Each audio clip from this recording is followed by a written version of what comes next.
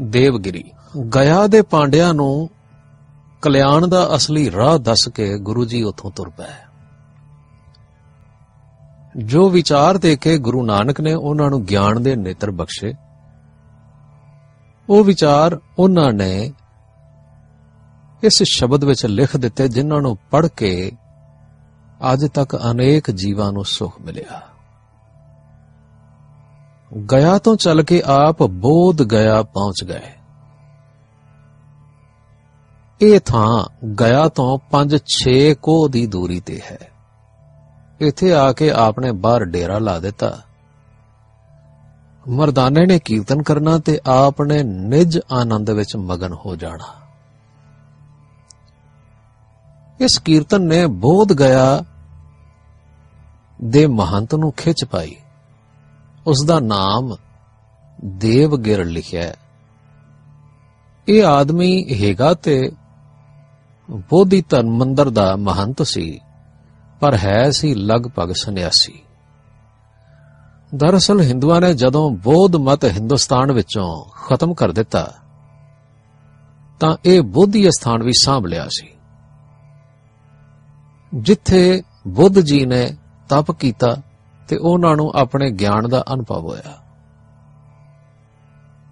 ਕਿਉਂਕਿ ਹਿੰਦੂ ਮਹਾਤਮਾ ਬੁੱਧ ਨੂੰ ਅਵਤਾਰ ਵੀ ਮੰਨਦੇ ਨੇ, ਜਿਸ ਕਰਕੇ ਇਹ ਸਥਾਨ ਵੀ ਉਹਨਾਂ ਨੇ ਆਪਣੇ ਅਧਿਕਾਰ ਵਿੱਚ ਲੈ ਲਿਆ।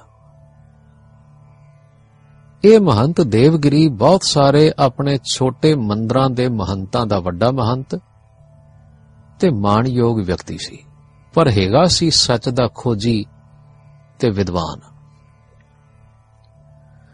ਵਿਦਿਆ ਨੇ ਇਸ ਦੇ ਮਨ ਨੂੰ ਜਾਣਨਹਾਰ ਤਾਂ ਬਣਾ ਦਿੱਤਾ ਸੀ, ਪਰ ਉਹ ਵੈਰਾਗੀ ਵੀ ਸੀ। ਪਰ ਉਹ ਰਾਗ ਨੂੰ, ਭਾਵ ਦੁਨੀਆ ਦੇ ਮੋਹ ਨੂੰ ਵੈਰਾਗ ਵਿੱਚ ਬਦਲਦਾ ਬਦਲਦਾ ਇਸ ਤਰ੍ਹਾਂ ਹੋ ਗਿਆ ਸੀ। ਜਿਵੇਂ ਦਰਖਤ ਦੀ ਟਾਹਣੀ ਪੱਕੀ ਹੁੰਦੀ ਹੁੰਦੀ ਸੁੱਕ ਜਾਏ, ਤਾਂ ਉਹ ਬਿਲਕੁਲ ਅਚੋਕ ਤੇ ਪੱਕੀ ਹੋ ਜਾਂਦੀ ਹੈ ਪਰ ਉਸ ਦੀ ਇਸ ਪਕਿਆਈ ਤੇ ਕਰੜਾਈ ਵਿੱਚ ਉਸ ਵਿੱਚ ਲਚਕ ਨਹੀਂ ਰਹਿੰਦੀ। ਇਹ ਲਚਕ ਇਸ ਵਾਸਤੇ ਨਹੀਂ ਰਹਿੰਦੀ ਕਿਉਂਕਿ ਉਹਦੇ ਵਿੱਚ ਜਿੰਦ ਕਣੀ ਨਹੀਂ ਰਹਿੰਦੀ। ਜਿਉਂਦੀ ਟਹਿਣੀ ਵਿੱਚ ਪਕਿਆਈ ਤੇ ਲਚਕ ਦੋਵੇਂ ਹੁੰਦੀਆਂ ਨੇ। ਜੀਵਨ ਦੇ ਭੇਦ ਦੀ ਇਸ ਪ੍ਰਕਾਰ ਦੀ ਜਦ ਗੱਲਬਾਤ ਸ੍ਰੀ ਗੁਰੂ ਨਾਨਕ ਦੇਵ ਜੀ ਨੇ ਸਮਝਾਈ ਤਾਂ ਉਸ ਦੀ ਸੋਝੀ ਵਿੱਚ ਫਿਰ ਜੀਵਨ ਦਾ ਚਾਹ ਆ ਬਣਿਆ। ਸਤਿਗੁਰੂ ਜੀ ਨੇ ਉਸ ਨੂੰ ਦੱਸਿਆ, ਭਾਈ, ਪਿਆਰ ਮਾੜਾ ਹੈ, ਮਾੜੇ ਕਰਮਾਂ ਦਾ। ਮੋਹ ਦੁਖਦਾਈ ਹੈ, ਨਾਸ਼ਵੰਤ ਪਦਾਰਥਾਂ ਦਾ। ਪਰ ਅਬਨਾਸ਼ੀ ਤੇ ਪ੍ਰੇਮ ਸਰੂਪ ਵਾਲੇ ਵਾਹਿਗੁਰੂ ਦਾ ਪ੍ਰੇਮ ਮਾੜਾ ਨਹੀਂ, ਕਿਉਂਕਿ ਉਸ ਪ੍ਰੇਮ ਨਾਲ ਪਵਿੱਤਰ ਹੋਈਦਾ ਹੈ। ਉਸ ਦਾ ਪ੍ਰੇਮ ਦੁਖਦਾਈ ਨਹੀਂ ਕਿਉਂਕਿ ਉਹ ਸਦਾ ਥਿਰ ਹੈ ਤੇ ਕਦੇ ਨਾਸ ਨਹੀਂ ਹੁੰਦਾ। ਇਸ ਕਰਕੇ ਉਸ ਨਾਲ ਕੀਤੇ ਹੋਏ ਰਾਗ ਦਾ ਅੰਤ ਨਹੀਂ ਹੋ ਸਕਦਾ ਤੇ ਦੁੱਖ ਨਹੀਂ ਹੋ ਸਕਦਾ। ਫਿਰ ਉਹ ਆਨੰਦ ਸਰੂਪ ਹੈ, ਇਸ ਲਈ ਉਸ ਦਾ ਰਾਗ ਸੁਖ ਤੇ ਆਨੰਦ ਦਾ ਦਾਤਾ ਹੈ। ਜਿਸ ਵੈਰਾਗ ਨੂੰ ਧਾਰਨ ਕਰਨ ਦੇ ਲਈ ਅਸੀਂ ਆਪਣੇ ਮਨ ਨੂੰ ਵੱਢਣਾ ਹੈ, ਕੋਣਾ ਹੈ, ਇੰਦਰੀਆਂ ਨੂੰ ਮਾਰਨਾ ਹੈ, ਤੇ ਸੰਸਾਰ ਅਤੇ ਇਸ ਦੀ ਰਚਨਾ ਨੂੰ ਮਾੜਾ ਸਮਝਣਾ ਹੈ। ਉਹ ਵੈਰਾਗ ਅਬਨਾਸ਼ੀ ਵਾਹਿਗੁਰੂ ਨਾਲ ਪ੍ਰੇਮ ਕੀਤਿਆਂ ਸਹਿਜ ਸੁਭਾਅ ਪ੍ਰਾਪਤ ਹੋ ਜਾਂਦਾ ਹੈ। ਤੇ ਉਸ ਦਾ ਅਸਰ ਵੀ ਇਨਸਾਨੀ ਤਾਕਤਾਂ ਨੂੰ ਖਤਮ ਕਰਨ ਵਾਲਾ ਨਹੀਂ ਹੁੰਦਾ। ਕਿਉਂਕਿ ਇਨਸਾਨ ਨਿਰਾ ਬੁੱਧੀ ਨਹੀਂ ਨਾ। ਇਸ ਦੇ ਮੂਲ ਵਿੱਚ ਪ੍ਰੇਮ ਵੀ ਹੈ। ਜਿਵੇਂ ਤੁਸੀਂ ਵੈਰਾਗ ਧਾਰਨ ਕੀਤਾ, ਅਰਥਾਤ ਮਨ ਨੂੰ ਮਾਰ ਦਿੱਤਾ। ਹੁਣ ਕਿਸੇ ਪਾਸੇ ਦਾ ਵੀ ਪ੍ਰੇਮ ਤੁਹਾਡੇ ਪੱਕੇ ਹੋਏ ਮਨ ਬੁੱਧੀ ਨੂੰ ਨਿਭਾ ਨਹੀਂ ਸਕਦਾ। ਉਹ ਸੁੱਕੀ ਟਾਣੀ ਵਾਂਗ ਪੱਕਾ ਹੋ ਗਿਆ। ਪਰ ਇਸ ਨਾਲ ਕਾਰਜ ਸਿੱਧੀ ਨਹੀਂ ਹੋਈ। ਤਦੇ ਮਨ ਵਿੱਚ ਲਚਕਦਾਰ ਤੇ ਜਿਉਂਦੀ ਅਨ ਅਟੈਚਮੈਂਟ ਅਪਕੜਤਾ ਨਹੀਂ ਹੈਗੀ। ਪਰ ਸਗੋਂ ਜਿੰਦਹੀਨਤਾ ਵਾਲੀ ਉਦਾਸੀ ਦਾ ਅਕੜੇਵਾਂ ਜਿਹਾ ਹੈ। ਦੇਵਗਿਰੀ ਲਈ ਇਹ ਇੱਕ ਨਵਾਂ ਸਬਕ ਸੀ। ਉਹ ਸਾਰੇ ਅੰਦਰਲੇ ਖਿਆਲਾਂ ਨੂੰ, ਅੰਦਰਲੇ ਭਾਵਾਂ ਨੂੰ ਮਾਰ ਕੇ ਗਿਆਨ ਹੋਣ ਨੂੰ, ਸੰਨਿਆਸ ਤੇ ਸਾਰੇ ਇੰਦਰੀਆਂ ਤੇ ਮਨ ਆਦ ਨੂੰ ਕੋ ਕੇ ਇਕਾਗਰ ਹੋਣ ਨੂੰ ਯੋਗ ਜਾਣਦਾ ਸੀ। ਸਤਿਗੁਰੂ ਨੂੰ ਪੁੱਛਣ ਲੱਗਾ ਕਿ हे ਜੀਓ, ਫਿਰ ਇੰਦਰੇ ਦਮਨ ਨਹੀਂ ਕਰਨੇ? ਭਾਵ ਵਿਕਾਰਾਂ ਨੂੰ ਮਾਰਨਾ ਨਹੀਂ, ਮਨ ਨੂੰ ਨਹੀਂ ਮਾਰਨਾ? ਸਤਿਗੁਰੂ ਜੀ ਨੇ ਸਮਝਾਇਆ, ਭਾਈ, ਇੰਦਰੀਆਂ ਨੂੰ ਵਿਕਾਰਾਂ ਤੋਂ ਰੋਕਣਾ ਹੈ। ਮਨ ਨੂੰ ਨੀਵੇਂ ਖਿਆਲਾਂ ਵਿੱਚ ਨਹੀਂ ਜਾਣ ਦੇਣਾ। ਸਭ ਅਵਗੁਣ ਤਿਆਗਣੇ ਤੇ ਸ਼ੁਭ ਗੁਣ ਧਾਰਨ ਕਰਨੇ ਨੇ। ਪਰ ਇੱਕ ਪਤੀ ਪਰਮੇਸ਼ਰ ਦਾ ਮਨ ਵਿੱਚ ਕੇਂਦਰ ਬਣਾ ਕੇ ਸਾਰੇ ਸ਼ਿੰਗਾਰ ਕਰਨੇ ਨੇ। ਉਸ ਨਾਲ ਪ੍ਰੇਮ ਕਰਨਾ ਹੈ। ਸਾਡੀ ਜ਼ਿੰਦਗੀ ਦਾ ਅੰਤਮ ਟਿਕਾਣਾ ਬੁੱਧੀ ਨੂੰ ਨਿਰਮਲ ਕਰਨ ਦਾ ਹੈ। ਬੁੱਧੀ ਨਿਰਮਲ ਕਰਨ ਲਈ ਵੈਰਾਗ ਅਤੇ ਵਿਵੇਕ ਵਰਤਨੇ ਨੇ। ਮਨ ਉੱਤੇ ਇਸ ਨਿਰਮਲ ਬੁੱਧੀ ਦਾ ਚਿਰਾਗ ਰੌਸ਼ਨ ਕਰਕੇ ਇਸ ਦੇ ਕੁੰਡੇ ਹੇਠ ਮਨ ਨੂੰ ਟੋਰਨਾ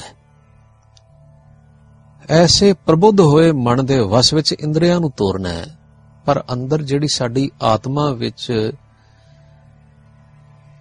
ਪ੍ਰੇਮ ਸਰੂਪਤਾ ਦੀ ਅੰਸ਼ ਹੈ, ਪ੍ਰੇਮ ਹੈ ਉਸ ਨੂੰ ਵੀ ਵਰਤਣਾ ਹੈ ਉਸ ਨੂੰ ਮਾਰਨਾ ਨਹੀਂ। ਉਸ ਨਾਲ ਮਨ ਦੇ ਖਿਆਲ ਨੂੰ ਉੱਪਰਲੇ ਪਾਸੇ ਵੱਲ ਲੱਗੇ ਰਹਿਣ ਵਾਲਾ ਬਣਾਉਣਾ ਹੈ ਤੇ ਬੁੱਧੀ ਦਾ ਟਿਕਾਣਾ ਲੱਭ ਕੇ ਉਸ ਨੂੰ ਜਫਾ ਮਾਰਨਾ ਹੈ। ਜਦੋਂ ਬੁੱਧੀ ਨੇ ਨਿਸ਼ਚੈ ਕਰ ਲਿਆ ਕਿ ਜਗਤ ਦਾ ਮੂਲ ਮਾਲਕ, ਪਾਲਕ ਇੱਕ ਅਕਾਲ ਪੁਰਖ ਹੈ, ਤਾਂ ਫਿਰ ਉਸ ਦਾ ਇਹ ਆਲੰਬ ਇਹ ਟਿਕਾਣਾ ਇਹ ਆਸਰਾ, ਇੱਕ ਏਕੰਕਾਰ ਹੈ। ਅਰਥਾਤ ਅਕਾਲ ਪੁਰਖ ਹੈ। ਜਦੋਂ ਮਨ, ਬੁੱਧੀ, ਵਾਹਿਗੁਰੂ ਵਿੱਚ ਪ੍ਰੇਮ ਕਰਕੇ, ਅਰਥਾਤ ਉਸ ਨੂੰ ਆਪਣਾ ਆਸਰਾ ਬਣਾ ਕੇ ਉਸ ਨਾਲ ਲਗਾਤਾਰੀ ਲਗਾਓ ਹਾਸਲ ਕਰ ਲੈਣਗੇ, ਤਾਂ ਉਸ ਵਿੱਚ ਵਾਹਿਗੁਰੂ ਤੇ ਵਾਹਿਗੁਰੂ ਵਿੱਚ ਉਹ ਵਸਣਗੇ। ਫਿਰ ਸਾਡਾ ਆਪਾ ਜੀਵਤ ਆਪਾ ਹੋਵੇਗਾ। ਤੇ ਜੀਵਨ ਮੁਕਤੀ ਦਾ ਸੁਖ ਪਾਏਗਾ। ਇਸੇ ਤਰ੍ਹਾਂ ਸਾਰਾ ਆਪਾ ਆਪਣੇ ਤਾਣ ਨਾਲ ਜਦ ਸਦਾ ਲੱਗਾ ਰਹੇਗਾ, ਇੱਕ ਵਿੱਚ ਤਾਂ ਇੱਕ ਸਮਾਇਆ ਸਫਲ ਤੇ ਸੁਰਜੀਤ ਗਿਆਨ ਵਾਲਾ ਰਹੇਗਾ। ਇਸ ਤਰ੍ਹਾਂ ਇਹ ਕਾਰ ਸਿਰੇ ਚੜਦੀ ਹੈ, ਗੁਰੂ ਦੇ ਸ਼ਬਦ ਦੀ ਕਮਾਈ ਨਾਲ। ਫਿਰ ਇਹ ਸਾਰਾ ਕੁਝ ਸਹਿਜ ਨਾਲ ਪ੍ਰਾਪਤ ਕਰਨਾ ਹੈ। ਸਹਿੰਦੇ ਸਹਿੰਦੇ ਹੱਠ ਮਨ ਤੇ ਕੁੰਡਾ ਤੇ ਆਪਣਾ ਆਪਾ ਨਿਵਾਰਣ ਦੇ ਸਾਰੇ ਕੰਮ ਕਰਨੇ ਨੇ। ਪਰ ਅੰਦਰ ਟੇਕ ਸਾਈਂ ਦੀ ਧਾਰ ਕੇ ਤੇ ਉਸ ਦੇ ਸਿਮਰਨ ਦੇ ਆਸਰੇ ਰਹਿ ਕੇ ਕਰਨੇ ਨੇ। ਜਦੋਂ ਅੰਦਰ ਠੰਡ ਵਰਤਣੀ ਹੈ ਨਾ, ਤਾਂ ਸਹਿਜ ਦਾ ਭਾ ਆ ਜਾਣਾ ਹੈ। ਸਹਿਜ ਆਨੰਦ ਨੇ ਅੰਦਰ ਟਿਕ ਜਾਣਾ ਹੈ। ਇਹ ਕਹਿ ਕੇ ਸ੍ਰੀ ਗੁਰੂ ਬਾਬਾ ਜੀ ਦੇ ਨੈਣ ਜੁੜ ਗਏ। ਤੇ ਆਪ ਨੇ ਜੁੜਦੇ ਹੋਏ ਨੈਣਾ ਨਾਲ ਜ਼ੁਬਾਨ ਤੋਂ ਹਰਨੀ ਹੋਵਾ ਉਚਾਰਨ ਕੀਤਾ।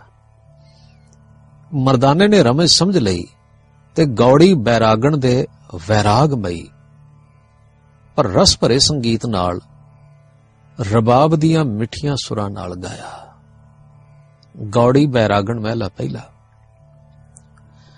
ਹਰਣੀ ਹੋਵਾਂ ਬਨ ਬਸਾਂ ਕੰਧ ਮੂਲ ਚੁਣ ਖਾਓ ਗੁਰ ਪ੍ਰਸਾਦੀ ਮੇਰਾ ਸ਼ੋ ਮਿਲੈ ਵਾਰ ਵਾਰ ਹਉ ਜਾਉ ਜੀਓ ਮੈਂ ਬਣਜਾਰਨ RAM ਕੀ ਤੇਰਾ ਨਾਮ ਵਖਰ ਵਾਪਾਰ ਜੀ ਰਹਾਓ ਕੋਕਿਲ ਹੋਵਾਂ ਅੰਬ ਬਸਾਂ ਸਹਿਜ ਸ਼ਬਦ ਵਿਚਾਰ ਸਹਿਜ ਸੁਭਾਏ ਮੇਰਾ ਸ਼ੋ ਮਿਲੈ ਦਰਸ਼ਨ ਰੂਪ ਅਪਾਰ ਮਛਲੀ ਹੋਵਾਂ ਜਲ ਬਸਾਂ, ਜੀ ਜੰਤ ਸਭ ਸਾਰ, ਉਰਵਾਰ ਪਾਰ ਮੇਰਾ ਸ਼ੌ ਵਸੈ, ਹਉ ਮਿਲਾਉਂਗੀ ਬਾਹ ਪਸਾਰ।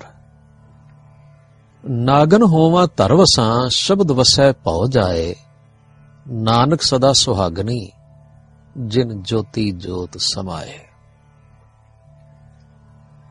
ਮਹੰਤ ਦੇਵਗਰ ਨੂੰ ਇਹ ਗੱਲ ਸਮਝ ਆ ਗਈ। ਹੁਣ ਉਸ ਦੀ ਬਿਰਤੀ ਵਿੱਚ ਵਾਹਿਗੁਰੂ ਦੇ ਨਾਮ ਦਾ ਨਿਵਾਸ ਹੋ ਗਿਆ। ਅੱਠੇ ਪੈਰ ਵਾਹਿਗੁਰੂ ਦੀ ਇੱਕ ਲੇਵ ਟਿਕ ਗਈ। ਅੱਗੇ ਤਾਂ ਆਪਣੇ ਖਿਆਲ ਵਿੱਚ ਗਿਆਨਵਾਨ ਸੀ, ਪਰ ਗਿਆਨਵਾਨ ਹੋ ਕੇ ਵੀ ਮਨ ਫੁਰਨਿਆਂ ਵਿੱਚ ਰਹਿੰਦਾ ਸੀ। ਕਥਾ, ਵਾਰਤਾ, ਚਰਚਾ, ਵਿਚਾਰ, ਸੰਥਿਆ ਆਦ ਵੇਲੇ ਬ੍ਰਹਮ ਦੇ ਸੰਕਲਪ ਹੀ ਕੇਵਲ ਪੈਦਾ ਹੁੰਦੇ ਸਨ। ਪਰ ਹੁਣ ਸਾਈਂ ਦੀ ਹੋਂਦ ਇੱਕ ਰਸਮਈ ਜਾਂ ਲਗਾਤਾਰੀ ਹੋ ਕੇ ਅੰਦਰ ਵਸ ਗਈ। ਮਨ ਜਿਹੜਾ ਫੁਰਨਿਆਂ ਵਿੱਚ ਖਿੰਡਦਾ ਤੇ ਨਿਤਾਣਾ ਹੁੰਦਾ ਸੀ, ਹੁਣ ਉਹ ਤਾਂਡ ਵਿੱਚ ਤੇ ਸੁਖ ਵਿੱਚ ਆ ਗਿਆ। ਗੁਰੂ ਜੀ ਦਾ ਵਾਕ ਹੈ, ਚੇਤਹਿ ਏਕ ਤਹੀਂ ਸੁਖ ਹੋਏ। ਮਹੰਤ ਦੇਵਗਿਰ ਨੇ ਬਹੁਤ ਦਿਨ ਸਤਿਗੁਰੂ ਨੂੰ ਪਿਆਰ ਨਾਲ ਆਪਣੇ ਕੋਲ ਰੱਖਿਆ। ਤੇ ਉਹਨਾਂ ਦੇ ਦੇਵੀ ਪ੍ਰਭਾਵ ਦਾ, ਉਹਨਾਂ ਦੇ ਰੱਬੀ ਗਿਆਨ ਦਾ, ਉਹਨਾਂ ਦੇ ਵਾਹਿਗੁਰੂ ਦੇ ਪ੍ਰੇਮ ਦਾ ਰਸ ਮਾਣਿਆ ਤੇ ਕੀਰਤਨ ਨਿਰਮੋਲਕ ਹੀਰਾ ਸੁਣ ਸੁਣ ਕੇ ਆਪਣੇ ਆਪੇ ਦਾ ਮੁੱਲ ਵਧਾ ਲਿਆ। ਰਾਜੌਲੀ ਅਤੇ ਮਾਲਦਾ। ਗਿਆ ਦੇ ਇਲਾਕੇ ਵਿੱਚ ਸ੍ਰੀ ਗੁਰੂ ਨਾਨਕ ਦੇਵ ਜੀ ਕਈ ਥਾਵਾਂ ਤੇ ਰੁਕੇ ਅਤੇ ਜਗਤ ਦਾ ਉਧਾਰ ਕੀਤਾ। ਜਿਸ ਦੇ ਟਿਕਾਣੇ ਅੱਜ ਤੱਕ ਕਿਤੇ-ਕਿਤੇ ਮਿਲਦੇ ਨੇ।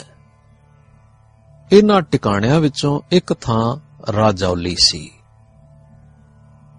ਜਿੱਥੇ ਇੱਕ ਕੱਲਣ ਸ਼ਾਹ ਨਾਮ ਦਾ ਫਕੀਰ ਤਪ ਕਰ ਰਿਹਾ ਸੀ। ਅੱਠੇ ਪੈਰ ਧੂਣੀ ਧੁਖਦੀ ਰਹਿੰਦੀ।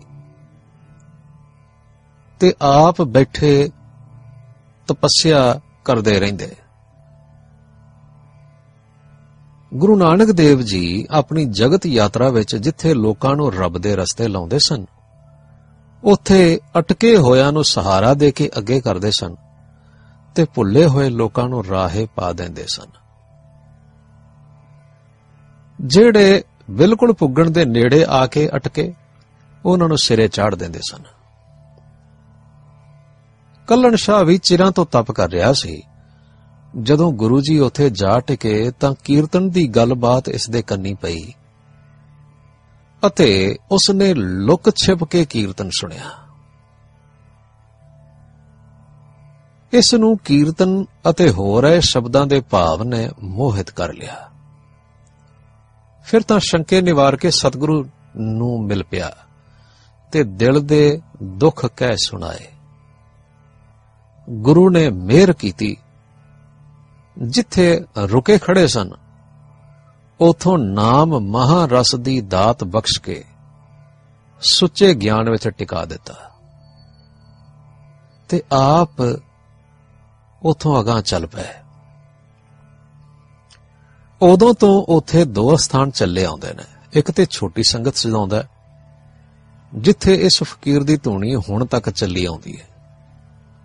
ਤੇ ਦੂਜਾ ਉਹ ਸਥਾਨ ਹੈ ਜਿੱਥੇ ਗੁਰੂ ਜੀ ਟਿਕੇ ਸਨ ਤੇ ਕਲਨ ਸ਼ਾਹ ਗੁਰੂ ਜੀ ਦੀ ਸ਼ਰਨ ਵਿੱਚ ਆਇਆ ਸੀ। ਇਸ ਨੂੰ ਵੱਡੀ ਸੰਗਤ ਆਖਦੇ ਨੇ। ਪਹਿਲੀ ਥਾਂ ਦਾ ਮੁਜਾਵਰ ਮੁਸਲਮਾਨ ਹੈ ਤੇ ਦੂਸਰੀ ਦਾ ਉਦਾਸੀ ਸੰਤ ਹੈ। ਇਸੇ ਤਰ੍ਹਾਂ ਹੋਰ ਟਿਕਾਣੇ ਵੀ ਗੁਰੂ ਨਾਨਕ ਦੇਵ ਜੀ ਦੇ ਨਾਮ ਨਾਲ ਸੰਬੰਧਿਤ ਉਸ ਇਲਾਕੇ ਵਿੱਚ ਸੁਣੀਦੇ ਨੇ।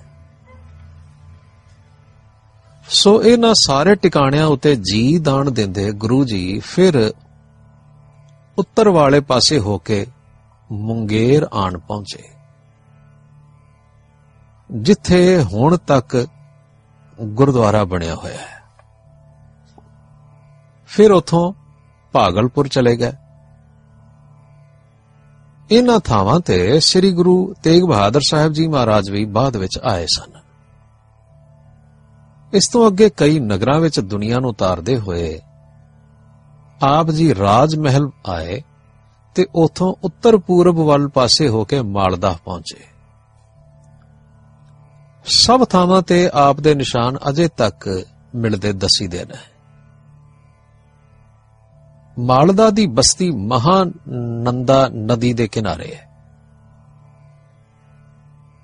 ਇੱਥੇ ਇੱਕ ਰਾਜਿਆਂ ਵਰਗਾ ਸ਼ਾਹੂਕਾਰ ਰਹਿੰਦਾ ਸੀ, ਜਿਸ ਦਾ ਨਾਮ ਸੀ ਰਾਮਦੇਵ ਬਾਬੂ। ਇਹ ਸੱਜਣ ਦੁਨੀਆ ਭਰ ਦੇ ਸੁੱਖਾਂ ਦਾ ਮਾਲਕ ਸੀ, ਪਰ ਹੈ ਬਹੁਤ ਭਲਾ ਆਦਮੀ ਸੀ।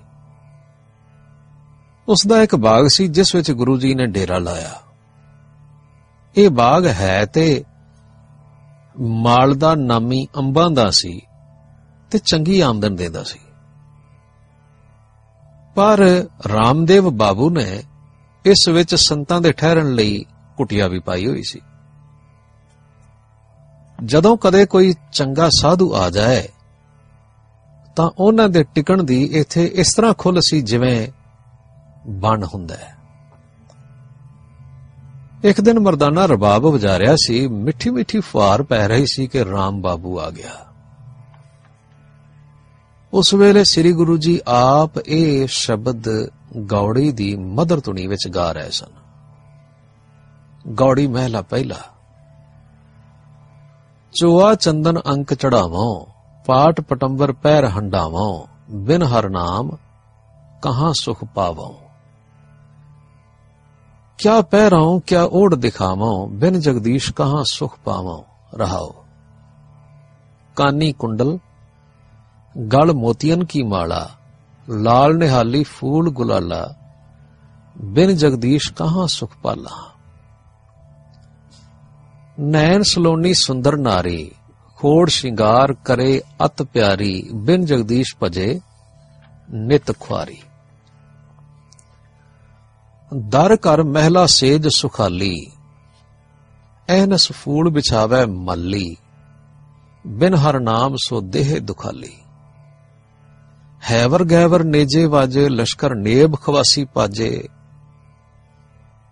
ਬਿਨ ਜਗਦੀਸ਼ ਝੂਠੇ ਦਿਵਾਜੇ ਸਿੱਧ ਕਹਾਵਾਂ ਰਿੱਧ ਸਿੱਧ ਬੁਲਾਵਾਂ ਤਾਜ ਕੁੱਲਾ ਸਿਰ ਛਤਰ ਬਣਾਵਾਂ ਬਿਨ ਜਗਦੀਸ਼ ਕਹਾਂ ਸੱਚ ਪਾਵਾਂ ਖਾਨ ਮਲੂਕ ਕਹਾਵੋ ਰਾਜਾ ਅਬੇ ਤਬੇ ਕੂੜੇ ਹੈ ਪਾਜਾ ਬਿਨ ਗੁਰ ਸ਼ਬਦ ਨਾ ਸਫਰਸ ਕਾਜਾ ਹਉ ਮਮਤਾ ਗੁਰ ਸ਼ਬਦ ਵਿਸਾਰੀ, ਗੁਰਮਤ ਜਾਣਿਆ ਹਿਰਦੈ ਮੁਰਾਰੀ, ਪ੍ਰਣਵਤ ਨਾਨਕ ਸ਼ਰਨ ਤੁਮਾਰੀ।